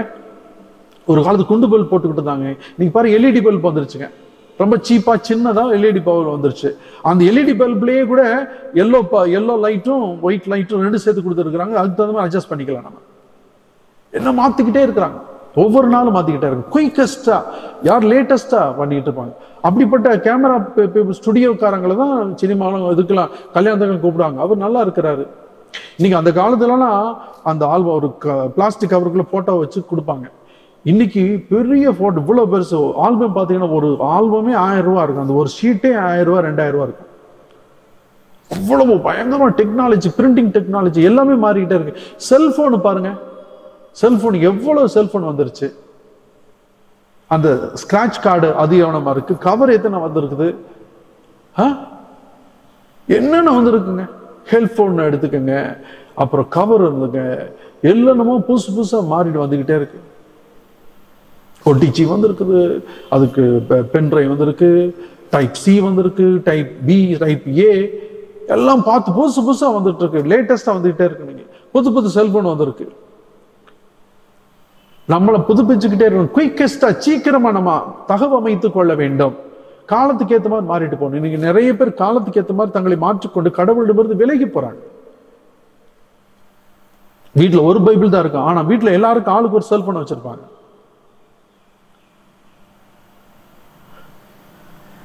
நீங்க கம்ப ஒரு காலேஜ் படிச்சு அமெரிக்காவில் வேலை செய்யற பையன் பாருங்க. பயங்கரமா படிச்சிருப்பாரு. பயங்கர கிளாஸ் டாப் ரேங்கரா வந்திருப்பாரு. இருபத்தி நாலு மணி நேரம் அப்படியே அத்தனை புத்தகம் படிச்சு விக்கிபீடியா நிறைய சேனல்ஸ் வெப்சைட்லாம் போய் புதுசு புதுசாக படித்து படிச்சு மிகச்சிறந்த மாணவராக படிச்சு வெளிநாட்டுக்கு வேலை பெரிய சம்பளத்தில் வேலைக்கு போகிற அளவுக்கு படிச்சிருப்பாரு. ஆனால் அவங்க வீட்டில் பாருங்க கோயிலுக்கு போகாட்டி கூட விட்டுருவாங்க. ஹோம்ஒர்க் நிறைய இருக்குமா? அதெல்லாம் நான் வீட்டில் படி. டியூஷன் போகணும். ஓ பார்த்துக்கலாம். ஓ பைபிள் ஒரு பைபிள் என்னைக்காவது அவங்க படிச்சிருப்பாங்களா? அன்னைக்கு அறுபது எழுபது பை புஸ்தகம் படிச்சிருப்பாங்க. அந்த கோர்ஸ் முடிக்கிற வரைக்கும். நூறுக்கணக்கான புஸ்தகம் நூற்றுக்கணக்கான வெப்சைட் படிச்சிருப்பாங்க. ஆனால் பைபிள் ஒரு தடவை படிச்சிருப்பாங்களா? ஜபமால ஒரு நாள் அவங்க சொல்லியிருப்பாங்களா? கோயிலுக்கு வந்து பூசையில் உட்காந்துருப்பாங்க பூசைக்கு வந்தாலும் கூட செல்போன் நோண்டிட்டு வெளியே நின்றுக்கிட்டு இருப்பாங்க. அப்பா அம்மா அப்பா இயேசு பேரை கா- குரல் கேட்கறதில்ல பிள்ளைக்கு எப்படி கேட்பாங்க? ஒரு குடும்ப ஒரு சில குடும்பங்களை கடவுள் ஆசீர்வாதமே கடவுள் அடையாளமாக அந்த வீட்டில் இருக்கேன் காசு கொட்டி கிடக்கும். என்ஜாய் பண்ணுவாங்க. கஷ்டப்படும் போது கடவுளே எங்களை காப்பாத்து. எங்களுக்கு நல்ல வேலை கொடுங்க. நல்ல மனைவி கொடுங்க. நல்ல புருஷன் கொடுங்க. நல்ல பிள்ளைகளை கொடுங்க. நல்ல பிரசவம் ஆக்கணும். நல்ல பிள்ளைகளுக்கு நல்லா கிடைக்கணும். எல்லாம் கேட்பாங்க. அவங்க கடவுள் ஆசீர்வதிப்பார். நல்ல உயர்ந்த நிலைக்கு வந்துட்டாங்கன்னு வச்சுங்களேன். அந்த காசை வச்சுட்டு பந்தா பண்ண ஆரம்பிப்பாங்க. நான் யார் தெரியுமா? சூனாப்பானா. அப்படின்னு சொல்லிட்டு அந்த காசை வச்சுட்டு பந்தா பண்ணிட்டு இருப்பாங்க. கோயிலுக்கு போக மாட்டாங்க. கோயிலுக்கு வந்து சாமியாரை பார்த்து எதிர்த்து நின்று பார்த்துட்டு சாமியார் சரியில்லைன்னு இப்படி அவரை கண்ட்ரோல் பண்ண பார்ப்பாங்க. அவரும் என்ன? சொன்ன பச்சு கேட்க மாட்டேன். இந்த ஊர் பங்குல நான் எப்படிப்பட்டாலும் என் பேச்சு இருந்தாலும் கேட்க மாட்டேங்கிறேன். அண்ணே உங்களை மதிக்காத சாமியார் இங்கே இருக்கக்கூடாதுண்ணே. ம் சரி. என்னப்பா வீட்டுல இப்ப நல்லா இருக்கிறாங்களா? அழகு இந்தா. ஒரு குரூப் சேர்த்துக்கிறோம். அவர் வச்சது மாதிரி தான் அந்த பையன் எந்த சாமியாக இருக்கணும். அந்த ஃபாதர் பார்த்தா அண்ணே நல்லா இருக்கிறீங்களா? வாங்கண்ணே. எப்படி? நல்லா இருக்கிறீங்களா? ஹாப்பி பர்த்டேனே அருவருப்பான அருவருப்பான ஒரு நிலை. யார் குரலை நம்ம கேட்கிறோம்? யார் குரலை நாம் கேட்கிறோம்? ரொம்ப முக்கியம். எது நம்ம எதை தூக்கி நம்ம மனசுக்குள்ள வச்சுக்கிறோமோ அது ரொம்ப முக்கியம். கடவுள் இருக்க வேண்டிய இடத்துல இறைவார்த்தை இருக்க வேண்டிய இடத்துல எதெல்லாம் தூக்கி வச்சுக்கிட்டு அல்ல அதையும் வச்சுட்டு அதுக்கு மேல ஒவ்வொன்றா எல்லாத்தையும் போட்டு அடக்கி வச்சிருப்பான். அவர் ஆண்டவர் குரல் கேட்கவே கேட்காது. தான் தோண்டித்தனமா வாழ்ந்துகிட்டு இருப்போம் அன்புக்கினவர்களே இரண்டு பேருடைய சாவை நான் என் கண் முன்னால் பார்த்தேன். இரண்டு பேருடைய சாவை நான் கண் முன்னால் பார்த்தேன். ஒரு முறை உதவி பங்கு தந்தையா இருந்த பொழுது ஒரு ஏழை குடிசையிலே ஒருவருடைய அவர் ரெகுலராக பூசைக்கு வருவார். ஆனால் வயசான காலத்தில் நடக்க முடியாமல் கடைசி ஒரு வார்த்தை தான் அவர் நடக்க முடியாமல் போச்சு. குச்சி உண்டிட்டு வந்துடுறாரு பூசைக்கு. கடைசி அந்த ஒரு வாரத்தில் வீட்டில் படுத்து படுக்க ஆகிட்டார் நன்மை வாங்க என்னை கேட்டார். அவஸ்து பூசல் நான் கூட போனேன். நான் அது- நானும் அசிஸ்டன்ட் இருந்தேன். உதவி பங்கு சமையல் இருந்தேன் நன்மை கொடுக்க போகும்பொழுது அவர் அப்படியே படுத்து கிடக்கிறார். தரையில தான் படுத்துருக்கிறாரு. பாயில படுத்திருக்கிறாரு. அவருடைய கண்ணெல்லாம் அந்த வாசல்லையே பார்த்துட்டு இருக்கு அப்படியே. சின்ன வீடு தான் ஒரு ஏழை குடிசை மாதிரி சின்ன வீடு ஒத்த வீடு. நான் உள்ளே போறேன் ஐயா வணக்கம். நல்லா இருக்கிறீங்களா? அப்படின்னு அப்படியே வாங்க ஃபாதர். அப்படியே ஈன குரல்லே அப்படியே பேசுற. வாங்க வாங்க ஃபாதர். கை தூக்க முடியல இருந்தாலும் அந்த ஒத்த கையில் தூக்கி வணக்கம் ஃபாதர் யா. அப்படியே படுத்துருங்க. நன்மை வாங்கிக்கிறீங்களா? அதுக்கு தான் காத்திருக்கேன். நான் அதுக்கு தான் காத்திருக்கிறேன் இப்ப நான். அன்புக்கினவர்களே நல்ல ஜெபம் பண்ணி நன்மை கொடுக்குற கொடுத்துட்டு தண்ணி ஊத்தணும் பாருங்க. அது அப்படியே பார்த்துக்கிட்டே இருக்கும்போது முகம் அப்படியே பிரகாசமா மாறுச்சு. நன்மை கொடுத்த உடனே அந்த லேசை தண்ணி எடுத்து கொஞ்சம் வாயில ஊத்தணுடனே அப்படி லைட்டா ஒரு அஞ்சாறு சொட்டு அப்படி உள்ள போட்டோடனே அப்படியே பிரகாசமா அப்படியே மாறுச்சு. வேற எங்கேயோ பாக்குறாரு என்னை பார்க்குற மாதிரி இருக்கு. ஆனா வேற எங்கேயோ என்னை சுத்தி அப்படியே பறந்து விரிந்த ஒரு கண்கள் விரிந்து அப்படி பார்க்குது. அப்படியே கண்ணை மூடுறாரு. கண்ணை மூடி அப்படியே இறந்துட்டார். அவ்வளவு கிரேஸ்ஃபுல் டெத் கிரேஸ்ஃபுல் டெத் அவ்வளோ ஏதோ ஒரு வானத்தை பார்க்கிறார். ஸ்டீஃபன் முடியப்பர் பார்த்தார்ல அது மாதிரி ஏதோ ஒன்று பார்த்து பிரகாசமாக அது வரைக்கும் இருந்த இறுக்கம் எல்லாம் மறைஞ்சு அப்படியே பிரகாசமா மாறி அப்படியே இருந்தார். அவர் சாகிற வரைக்கும் அவர் கடவுளை சார்ந்தே இருந்தார். இது ஒரு சாவு. நல்லவரா இருந்தார் அவர். இன்னொரு சாவு. நான் பங்கு சாமி இருந்தேன். அந்த ஆளு கொஞ்சம் பங்குலேயும் கொஞ்சம் அடாவடி பண்ணுவார். எந்த சாமியார் வந்தாலும் மிரட்டிக்கிட்டே இருப்பார். சொல்லி லெட்ரு எழுது அந்த ஆள் தான் பங் பிஷப்புக்கு லெட்ரு எழுதுறது அந்த ஆள் தான் அந்த ஆளுக்கு ஒத்து வரலன்னா உடனே லெட்ரு மேலே லெட்ரு எழுதிக்கிட்டு இருப்பார். கண்டதெல்லாம் இவரே உருவாக்கிட்டு பங்கு சாமியார் எதெல்லாம் செஞ்சால் தப்பு எதெல்லாம் செய்யலைன்னா தப்பு அப்படின்ட்டு எல்லாமே கிளியராக தெரிஞ்சு வச்சுருப்பார். எல்லாத்தையும் ஆளுக்கு தகுந்த மாதிரி எழுதுவார். பிடிக்கலைன்னா என்ன வேணால் கிரியேட் பண்ணி காயின் பண்ணி அனுப்பிச்சாரு. அவங்களுக்குன்னு ஒரு குரூப் இருக்கு. அவங்கள்ட்ட கையெழுத்து வாங்கி அனுப்பிக்கிட்டே இருப்பார். அவரு அவஸ்தை பூசல் வந்து கூப்பிட்டாங்க. அவர் ரொம்ப ரொம்ப சீரியஸா இருக்காரு. அவஸ்தை பூசல் போகலாம் அப்படின்னு சொல்லிட்டு அவஸ்தை பூசல் கொடுப்பாங்க அந்தாலும் என்னை பார்க்கவே மாட்டேங்கிறாரு. சுத்தி இருக்கிற அத்தனை பேர் வந்து கொஞ்சம் துட்டுல பாட்டி. என்னை பார்க்க மாட்டேன் அப்படியே இருந்தாலும் இப்படியே படுத்திருக்கிறார் அப்படி. ஃபாதர் வந்திருக்கிறார். ம். அப்படிங்கிறார். அப்பையும் கூட நம்மளை பார்க்கல. ம் அப்படின்னாரு. அப்படியே பார்த்துக்கிட்டு அந்த சரி நான் நம்ம கடமை செய்யலாம்னு சொல்லிட்டு நான் ப்ரே ஜெபம் பண்ணி முடிச்சுட்டு அவசிய பூசல் கு- கொடுக்குறேன். எல்லாம் நோயில் பூசல் எல்லாம் கொடுத்து முடிச்சுட்டு நன்மை வாங்கிக்கிறீங்களா? ம் அப்படின்னாரு. நான் கேட்டேன் நன்மை முழுங்குவாரா? இல்லை முழுங்குவார். தண்ணி ஊற்றினா முழுங்குவாரா? முழுசை கொடுக்க வேணாம் ஃபதர். கொஞ்சமாக கொடுங்க அப்படின்னா சரி ஓகேன்னு சொல்லிட்டு ஜெபம் பண்ணிட்டு அப்பத்தை உடைச்சு நற்கனை உடைச்சு அவர் வாயில வச்சு கொஞ்சம் தண்ணி ஊத்துனார். அன்பிக்கினியவர்களே அவர் முகம் அவ்வளவு விகாரமா நாங்க பார்த்ததே இல்லை. எல்லாரும் ஐயோயோ ஐயோயோன்னு கத்துறாங்க.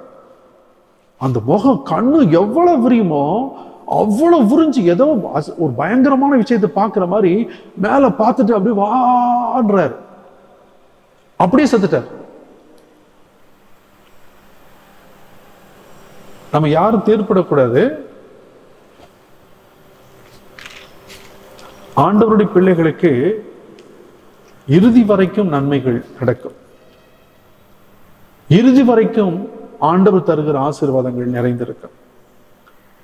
ஆனால் கடவுளுக்கு கடவுளுக்கும் இவருக்கும் மனிதர்களுக்கும் சாத்தானுக்கும் வாழ்ந்தவர்கள் கடவுளுக்கு சமயத்துல கோயிலுக்கு போறது சமயத்துல கோயிலுக்கு போறது அதையும் செஞ்சுக்கிறது. அதனால அவர்களுக்கு பிரயோஜனமே இருக்காது. கடைசி காலத்துல எல்லாமே கைவிட்டு விடும். சாத்தா நிதிமை சொல்லுவான்? உனைய தான் நம்மளே உனையா நம்ம சொன்னது? நான் கூப்பிட்டா நீ எதுக்கு வர்ற? உனக்கு புத்தி இல்லையா? நான் பழத்தை பாங்கி பறிச்சு சாப்பிட சொன்னேன். ஏன் சாப்பிட்ட? உனக்கு எங்க புத்தி போச்சு? சாப்பிட மாட்டேன்னு சொல்லிக்கலாம்ல நீ தானே நீங்க தானே சொல்லி தீதும் நன்று பிறதர வாரா? நீங்க தானே சொல்லியிருக்கீங்க நீ செஞ்சதுக்கு அனுபவிச்சுட்டு போ. எனக்கு இதுதான் உனக்கு கொடுக்க முடியும். வேற ஒன்றும் கொடுக்க முடியாது. என்கிட்ட இருக்கிறது நான் கொடுக்குறேன். அவ்வளவுதான். கைவிட்டுருவான் அன்பிக்கினவர்களே நாம் யாருடைய குரலை கேட்கிறோம் என்று யோசித்து பார்ப்போம். ஆண்டவர் குரலை கேட்டால் மட்டுமே நாம் வாழ்வடைவோம். ஆண்டவரே நாங்கள் யாரிடம் போவோம்? வாழ்வு தரும் நிலை வாழ்வு தரும் வார்த்தைகள் உம்மிடம் தானே உள்ளன. ஆண்டவருடைய வா ஆவி நிலை வாழ்வு தரக்கூடியது. ஆண்டவரை பற்றிக்கொள்வோம் ஜெபிப்போம். எங்கள் அன்பின் பரலோக பிதாவே ஆதாமே என்று சொன்னவுடனே உடைய குரலை கேட்டு ஓடி ஒளிந்து கொண்ட ஆதாமை போல இல்லாமல் தந்தையே உடைய குரலை கேட்டு ஓடோடி வந்து இதோ நாங்கள் இருக்கிறோம் என்று சொல்லி உமக்காக வாழவும் உடைய குரல் காட்டுகிற அறிவுரையின்படி நாங்கள் நடக்கவும் இயேசுவின் வழி நடக்கவும் இறைவார்த்தையை எங்கள் வாழ்வாகவும் வாழ்க்கை பாதையாகவும் அந்த பாதைக்கு வெளிச்சமாகவும் கொண்டு வாழ்ந்திட அருள் தாரும் நாங்கள் உம்மோடு கூட திராட்சை கொடிகளாக இணைந்து மிகுந்த கனி கொடுக்கவும் அந்த கனிகள் நிலைத்திருக்கவும் உமக்கு சாட்சிகளாக வாழவும் உமக்கு ஆன்மாக்களை ஆதாயமாக்கிக் கொள்ள அருள் தாரும் இந்த மன்றாட்டுக்களை எங்கள் ஆண்டவரும் உம் திருமகருமாய் இயேசு கிறிஸ்து வழியாக பார்த்து மன்றாடுகின்றோம். நம்பிக்கை அறிக்கையை நாம் சொல்லுவோம். ஒரே கடவுளை நம்புகிறேன். காண்பவை காணாதவை யாவும் படைத்த எல்லாம் அல்ல தந்தை அவரே.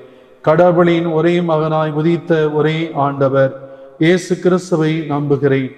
இவர் காலங்களுக்கெல்லாம் முன்பே தந்தையிடமிருந்து பிறந்தார். கடவுளினின்று கடவுளாக ஒளியினின்று ஒளியாக உண்மை கடவுளினின்று உண்மை கடவுளாக உதித்தவர். இவர் உதித்தவர் உண்டாக்கப்பட்டவர் அல்லர். தந்தையோடு ஒரே பொருளானவர். இவர் வழியாகவே யாவும் படைக்கப்பட்டன. மனித நமக்காகவும் நம் மீட்புக்காகவும் விண்ணகம் இருந்து இறங்கினார். தூய ஆவியால் கன்னி மரியாவிடம் உடல் எடுத்து மனிதர் ஆனார். மேலும் நமக்காக போந்தி பிலாத்தின் அதிகாரத்தில் சிலுவையில் அறையப்பட்டு பாடுபட்டு இறந்து அடக்கம் செய்யப்பட்டார். மறை நூல்களின்படி மூன்றாம் நாள் உயிர்த்தெழுந்தார். விண்ணகத்துக்கு எழுந்தருளி எல்லாம் அல்ல தந்தையின் வலப்பக்கம் வீற்றிருக்கின்றார். வாழ்வோரையும் இறந்தோரையும் தீர்ப்பிட மாட்சியுடன் மீண்டும் வர இருக்கிறார். அவரது ஆட்சிக்கு முடிவு இராது. தந்தையிடமிருந்தும் மகனிடமிருந்தும் புறப்படும். ஆண்டவரும் உயிரளிப்போருமான தூய ஆவியாரை நம்புகிறேன். இவர் தந்தையோடும் மகனோடும் ஒன்றாக ஆராதனையும் ஆட்சியும் பெறுகின்றார். இறைவாக்கினர்கள் வாயிலாக பேசியவர் இவரே. ஒரே புனித கத்தோலிக்க திருத்துதர் வழிவரம் திரு அவையை நம்புகிறேன். பாவ மன்னிப்புக்கான ஒரே திருமுழுக்கை ஏற்றுக்கொள்கிறேன். இறந்தோரின் உயிப்பையும் வரவிருக்கும் மறு உலக வாழ்வையும் எதிர்பார்க்கிறேன். ஆமை கண்களை மூடி நாம் ஜெபிப்போம். நம்முடைய பரிசுத்த பாப்பரசர்கள் பா- பரிசுத்த பாப்பரசர் ஆயர்கள் குருக்கள் துறவரத்தார் இறைமக்கள் அனைவருக்காகவும் சிறப்பாக ஜெயிப்போம். இந்த திருச்சபை இறைவனின் வழியில் நடந்து மிகுந்த ஆசீர்வாதமான இறையரசை கட்டி எழுப்பக்கூடிய அருளை கேட்டு மன்றாடுவோம்.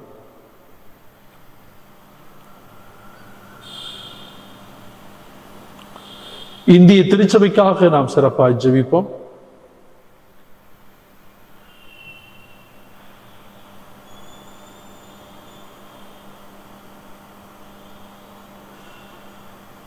நம் பங் நம்முடைய மறை மாவட்டத்திற்காக சிறப்பாக ஜெயிப்போம். நம்முடைய மறை மாவட்ட ஆயர்கள் குருக்கள் இறைமக்கள் பொதுநிலையினர் கண்ணியர் இருபால் துறவியர்கள் அனைவருக்காக ஜெபிப்போம்.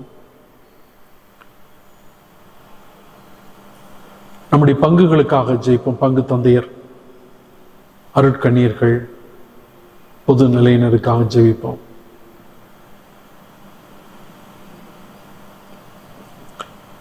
நம்முடைய குடும்பங்களுக்காக ஜெபிப்போம்.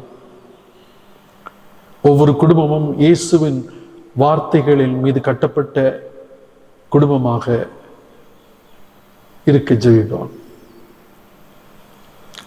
நம் தனிப்பட்ட முறையிலே ஆண்டவருடைய குரலை மட்டுமே கேட்க அவர் பின் செல்லக்கூடிய அருளை கேட்டு மன்றாடுவோம்.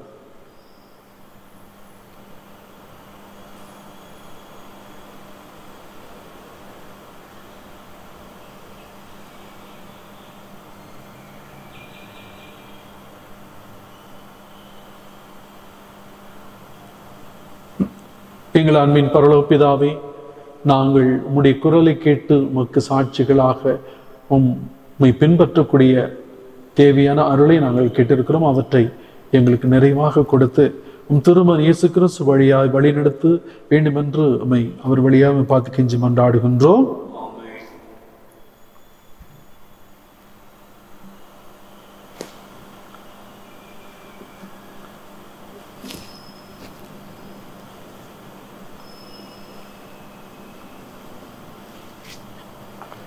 ஆண்டவரே அனைத்துலக நிறைவா நீர் வாழ்த்த பெறுவீராக.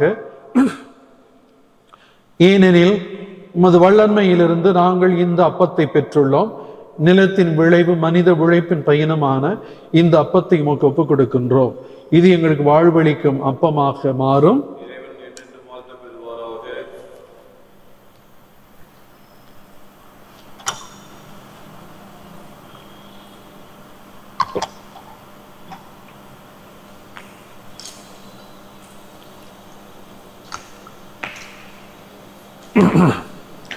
கிறிஸ்து நமது மனித இயல்பில் பங்கு கொள்ள திருபலமானார் இத்தண்ணீர் ரசம் இவற்றின் மறைபொருள் வழியாக நாமும் அவருடைய இறையியல்பில் பங்கு பெறுவோமாக.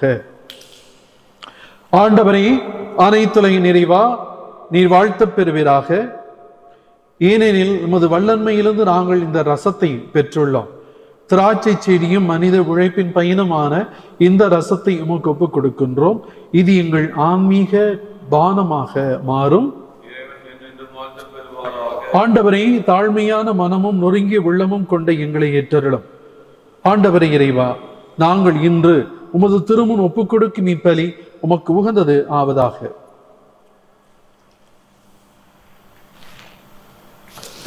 ஆண்டவரை எனது குற்றம் நீங்க என்னை கழுவியருளும் என் பாவத்திலிருந்து என்னை தூய்மையாக்கும்.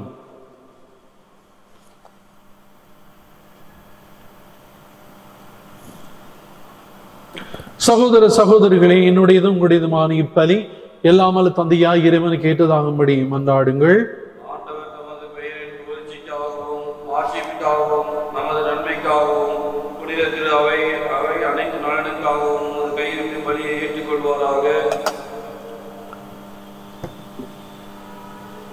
ஆண்டவரே இப்பாஸ்கா மறை நிகழ்வுகள் வழியாக எங்களை என்றும் அக்களிக்கச் செய்திட உம்மை வேண்டுகிறோம். அதனால் நாங்கள் தொடர்ந்து தொடர்ந்து புரியும் பரிகாரச் செயல் எங்களுக்கு முடிவில்லா பேரின்பத்தின் காரணமாக அமைவதாக எங்கள் ஆண்டவராக கிறிஸ்து ஆபம் அன்றாடுகின்றோம். ஆண்டவர் உங்களோடு இருப்பாராக. இதயங்களை மேலே எழுப்புங்கள். நம் இறைவராக ஆண்டவருக்கு நன்றி கூறுவோம். ஆண்டவரை தூயவரான தந்தையே எ- எக்காலத்திலும் இப்பொழுதுரைப்பதும் எல்லாவற்றுக்கும் மேலாக எங்கள் பாஸ்காவாகிய கிறிஸ்து பலியான இச்சிறப்பான காலத்தில் உம்மை இன்னும் மிகுதியாக வாழ்த்தி போற்றுவதும் மெய்யாகவே தகுதியும் நீதியும் ஆகும். எங்கள் கடமையும் மீட்புக்கு உரிய செயலும் ஆகும். ஏனெனில் பழையன அழிக்கப்பட்டு வீழ்ச்சியுற்ற படைப்பு அனைத்தும் புதுப்பிக்க பெறுகின்றது. எங்கள் வாழ்வும் கிறிஸ்துவில் சீரமைக்கப்பட்டு நிறைவு பெறுகின்றது. ஆகவே பாஸ்கா மகிழ்ச்சி பொங்க அனைத்துலகின் மாந்தர் அனைவரும் அக்களிக்கின்றனர். அவ்வாறே ஆற்றல் மிக்கோரும் அதிகாரம் கொண்ட தூதர்களும் முது புகழ்ந்து முடிவின்றி சொல்லுவதாவது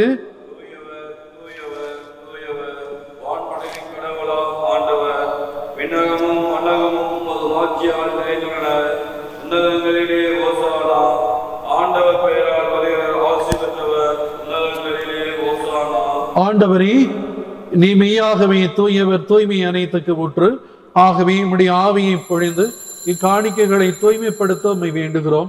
இவ்வாறு எங்கள் ஆண்டவர் இயேசு கிறிஸ்துவின் உடலும் இரத்தமுமாக எங்களுக்கு இவை மாறுவனவாக. அவர் பாடுபட உளம் கனிந்து தம்மை கையளித்த போது அப்பத்தை எடுத்து நன்றி செலுத்தி அதை பிட்டு தம் சீடர்களுக்கு அளித்து கூறியதாவது. அனைவரும் இதிலிருந்து பெற்று உண்ணுங்கள். ஏனெனில் இது உங்களுக்காக கையளிக்கப்படும் என் உடல்.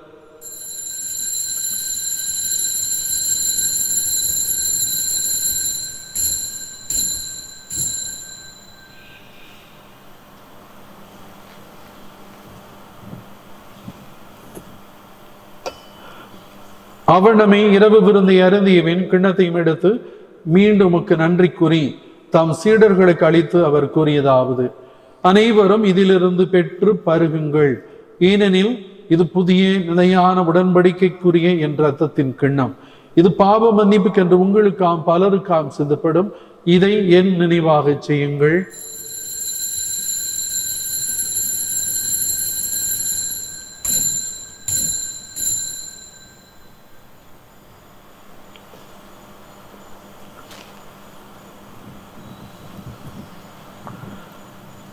இது நம்பிக்கையின் மறைப்பொருள்.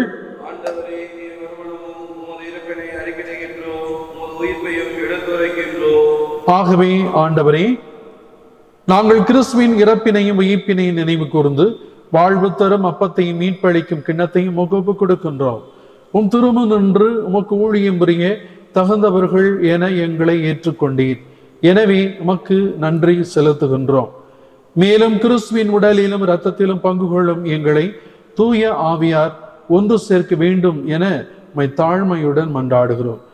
ஆண்டவரே உலகெங்கு பரவி இருக்கும் திருவையின் நினைவு குந்திரலும் எங்கள் திருத்தந்தை பிரான்சிஸ் எங்கள் ஆயர் தாமஸ் ஆக்வைனாஸ் நீங்கள் உங்களுடைய மறைமாவட்ட ஆயர்களை நினைத்து மன்றாடுங்கள். எல்லா திரு நிலையினர் ஆகிய அனைவரோடும் உமது திரு அவை அன்பில் நிறைவு பெற செய்திடலும். தந்தையே நீர் உலகிலிருந்து உட அழைத்து கொண்ட சென்னை பழைய வண்ணாரப்பேட்டை சார்ந்த எம்ஜே டேவிட் என்பவரை நினைவு கொண்டிரலும் இவர் ஞானஸ்தானத்து வழியாக நம்முடைய திருமனுடைய இறப்பில் இணைக்கப்பட்டிருந்த இவர் உயிர்ப்பிலும் அவரைப் போல இருக்க செய்திரலும் மேலும் உயிர்த்தெழும் எதிர்நோக்குடன் துயில் கொள்ளும் எங்கள் சகோதர சகோதரிகளை நினைவு கொண்டிரலும்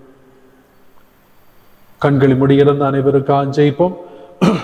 உத்திரிக்கிற நிலை ஆன்மாக்களுக்காம் யாரும் நினையாத ஆன்மாக்களுக்காம் வந்தாடுவோம்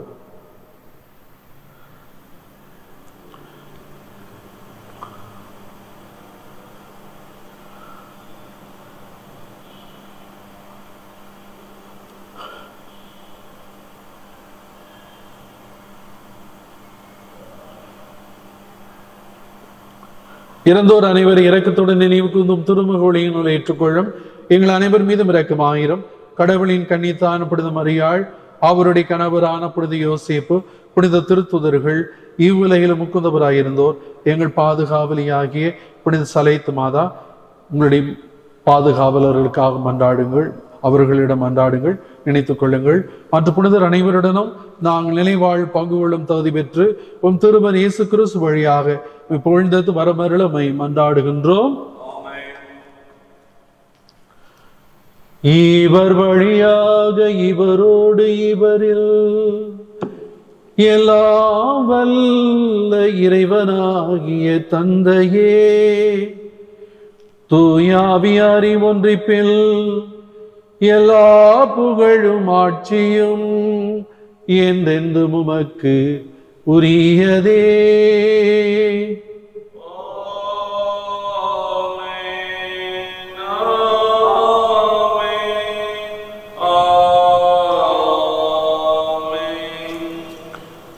மீட்பரின் கட்டளையால் கற்பிக்கப்பட்ட தெய்வ படிப்பினியால் பயிற்சி பெற்று நாம் அனைவரும் மகிழ்ந்து ஜெபிப்போம்.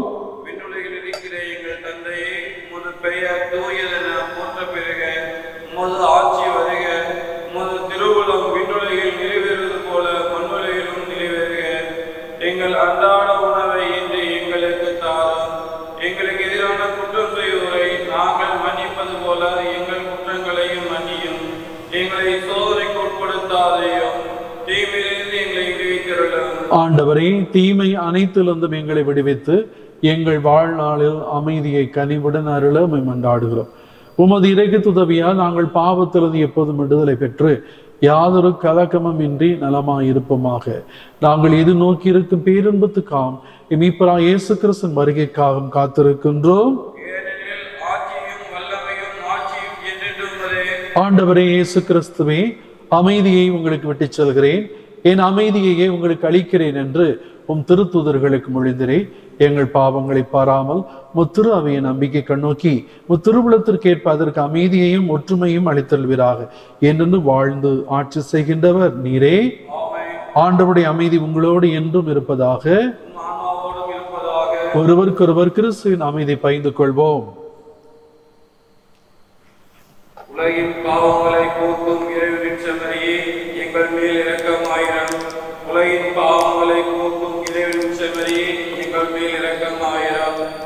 உலகின் பாவங்களை போக்கும் இறைவனின் செம்மறியே எங்களுக்கு அமைதியை அளித்திரளும்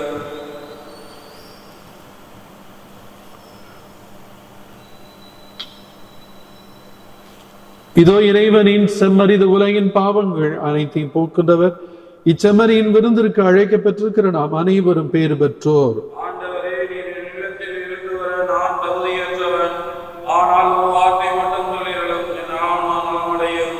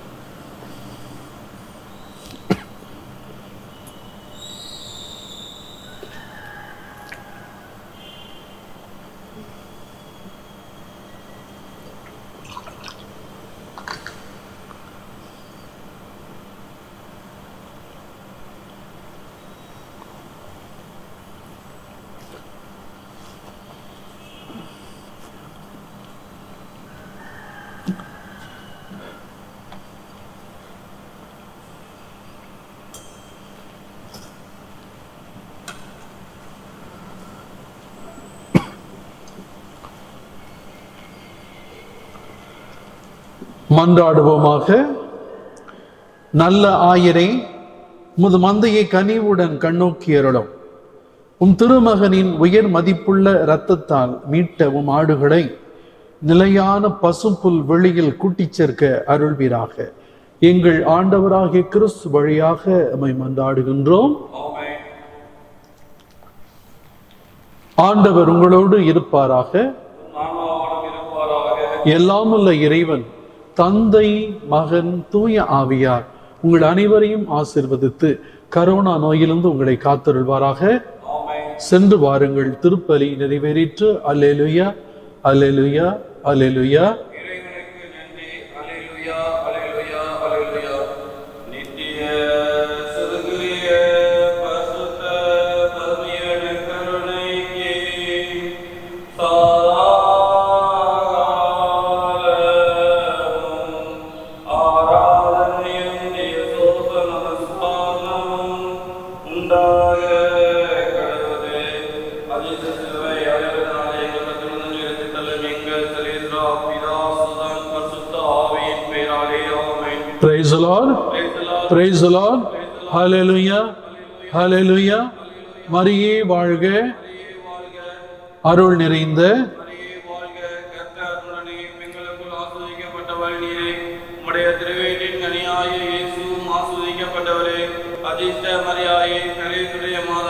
பாவிகளாக எங்களுக்காக இப்பொழுதும் எங்கள் மனநேரத்திலும் வேண்டிக்கொள்ளும் ஆமென். தந்தைக்கும் அவருக்கு தூயாவியாருக்கு மகிமை உண்டாவதாக.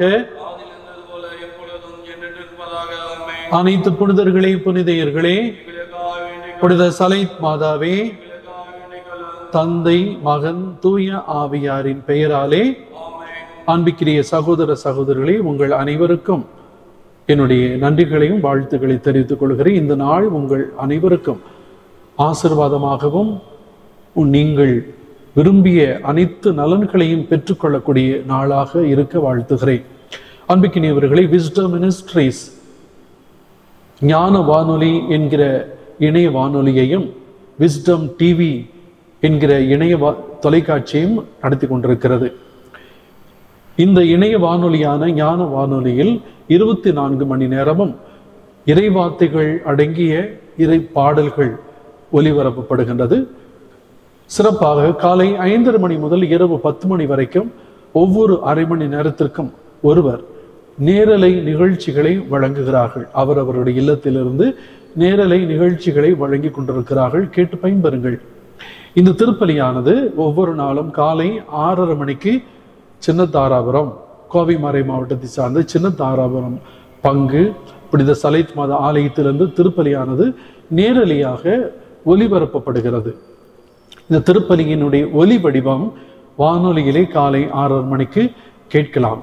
இந்த பதிவு செய்யப்பட்ட இந்த திருப்பலியானது ஞான வானொலியிலே இணைய வானொலியில் கால் மதியம் ஒரு மணிக்கும் இரவு ஏழரை மணிக்கும் மறு ஒலிபரப்பு செய்யப்படுகிறது. கடந்த உயிர்ப்பு பெருவிழா நாளிலன்று நாளிலிருந்து இந்த விஸ்டம் மினிஸ்ட்ரிஸ் வழியாக இணைய தொலைக்காட்சி விஸ்டம் டிவி என்று நாங்கள் சொல்லுகிறோம். ஆனால் அதை ஞான ஒளி தொலைக்காட்சி ஞான ஒளி டிவி என்று பெயரிட்டிருக்கிறோம். அது அந்த தொலைக்காட்சியிலே காலை ஆறரை மணி திருப்பலியானது ஒளிபரப்பப்படுகிறது. நேரலியாக லைவ் டெலிகாஸ்ட் கொடுக்கிறோம். அதையும் நீங்கள் பார்க்கலாம். தினமும் காலை ஆறரை மணிக்கு. அன்பிக்கினவர்களே இந்த திருப்பலியை மறுமுறையும் நீங்கள் எத்தனை வேண்டுமுறையானாலும் அந்த அஹ், தொலைக்காட்சியில் அந்த பார்க்கலாம். இதை நீங்கள் எப்படி பார்க்க வேண்டும் என்றால் எங்களுடைய இணையதளமான W W W New Wisdom Ministries dot com W W W dot New Wisdom Ministries dot com அந்த வெப்சைட்டுக்கு சென்றீர்கள் என்றால் அங்கே டிவியும் ரேடியோவும் இருக்கும். அதை கிளிக் பண்ணி நீங்கள் பார்த்துக்கொள்ளலாம் அந்த விஸ்டம் டிவிக்கு கீழே இன்னொரு டிவி இருக்கும். அதிலே சர்வர்ல இருந்து இந்த திருப்பலை மறுபடியும் நீங்கள் பார்க்கலாம். அடுத்தபடியாக யூடியூப்பிலும் இதே நேரத்திலே நேரலையாக ஒளிபரப்புகிறோம். அந்த எங்களுடைய யூடியூப் சேனல் என்னவென்றால் அதை எப்படி சர்ச் பண்ண வேண்டும் என்றால் விஸ்டம் மினிஸ்ட்ரிஸ் தமிழ்நாடு என்று சர்ச் பண்ணணும். ஏன்னா ஆந்திராவில் ரெண்டு மூணு விஸ்டம் மினிஸ்ட்ரிஸ் இருக்கிறது. நீங்க வெறும் விஸ்டம் மினிஸ்ட்ரிஸ் டைப் பண்ணீங்கன்னா அவங்களுடைய சேனல் தான் வரும். ஆனால் விஸ்டம் மினிஸ்ட்ரிஸ் தமிழ்நாடு என்று அடித்தோம் என்றால் நம்முடைய சேனல் ஃபர்ஸ்டாக வரும். அதை கிளிக் பண்ணி நேரலையாக பார்க்கலாம். அன்பிக்கினவர்கள் நீங்கள் சப்ஸ்கிரிப்ஷன் நீங்கள் நீங்கள் கொடுத்து கிளிக் அந்த சப்ஸ்கிரைப் பண்ணி பெல் பட்டு கிளிக் பண்ணிட்டீங்கன்னா எங்களுடைய சகோதரன் பாண்டியன் அவர்கள் ஒரு அரை மணி நேரத்துக்கு முன்னாடி திருப்பலிக்கு ஒரு அரை- மணி நேரத்துக்கு முன்னாடி உங்களுக்கு இன்டிமேஷன் அனுப்புவார். ஆரம்பிக்கிற நேரத்தில் மறுமுறையும் உங்களுக்கு ஒரு மெசேஜ் வரும். திருப்பலியை நீங்கள் பார்த்து கொள்ளலாம். அதிலும் பார்க்கலாம். மறுபடியும் யூடியூப்லேயே அந்த திருப்பலி இருந்துகிட்டே இருக்கும். நீங்கள் அதை பார்க்கலாம். அடுத்தபடியாக இந்த திருப்பலியை நாங்கள் மறுபடியும் எடிட் பண்ணி மாலை மறுபடியும் நாங்கள் யூடியூப்ல அப்லோட் செய்கிறோம். அது இன்னும் கொஞ்சம் லைட்டிங் கொஞ்சம் நல்லா இருக்கும் ஆடியோ கொஞ்சம் நல்லா இருக்கும் கொஞ்சம் எடிட் பண்ணி என்ஹான்ஸ் பண்ணி அதை நாங்கள் போடுவோம். ஆகவே அதையும் நீங்கள் மாலை நேரத்தில் நீங்கள் பார்க்கலாம். நிறைய பேர் பார்க்குறீங்க. ரொம்ப சந்தோஷம். பல நாடுகளில் இது பார்க்கிறீர்கள். பல ஒரு சில வெளிநாடுகளிலிருந்து எனக்கு தொலைபேசியில் பேசினீர்கள். மிக சிறப்பாக செய்கிறேன் என்று சொன்னீர்கள். இதெல்லாம் கடவுளுடைய கிருவை நான் மட்டுமல்ல எத்தனையோ பேர் உதவி செய்கிறார்கள். எத்தனையோ பேர் மறைமுகமாக நிறைய பேர் உதவி செய்கிறார்கள். அவர்களுக்காம் அவன் குடும்பத்துக்காம் தயவு செய்து செய் ஜெபிக்குமாறு அன்போடு கேட்டுக்கொள்கிறேன். இன்னும் சிறப்பாக செய்ய வேண்டும். உங்கள்ட்ட இன்னும் நிறைய பேர் நிறைய குறைகள் சொல்றீங்க. ஆடியோ லைட் பத்துறதில்ல ஆடியோ சரியில்லை என்று சொல்றீங்க. இருக்கிற வச்சு நான் செய்கிறேன் தப்பாக எடுத்துக்காதீங்க. அப்படி ஏதாவது தப்பு இருந்தால் பொறுத்துக்கங்க. இன்னும் நான் என்னால் முடிஞ்ச அளவுக்கு இவற்றை நான் செய்ய நான் செய்ய முயற்சி எடுக்கிறேன் இருக்கிறத வைத்துக்கொண்டு என்னால் இதை நான் செய்ய முடிகிறது. ஆகவே எனக்காக தொடர்ந்து ஜெபியுங்கள். இன்னும் உங்களுக்காக நாங்கள் ஊழியம் செய்ய பணி செய்ய நாங்கள் காத்திருக்கிறோம். இயேசு நாமும் மகிமை அடைய வேண்டும். பரலோக தந்தைக்கு எல்லா புகழையும் நம்முடைய பெருமையும் அவருக்கு ஒப்புக் கொடுக்கிறோம். அவருடைய பணிகளை நாம் செய்து கொண்டே இருப்போம் இன்னும் சிறப்பாக செய்ய எங்களுக்கு அஜபிக்குமாறு உங்களை அன்போடு கேட்டுக்கொள்கிறேன். மீண்டும் நாளை காலை ஆறரை மணிக்கு திருப்பலியில் சந்திக்கிறேன். நன்றி காட் பிளஸ் யூ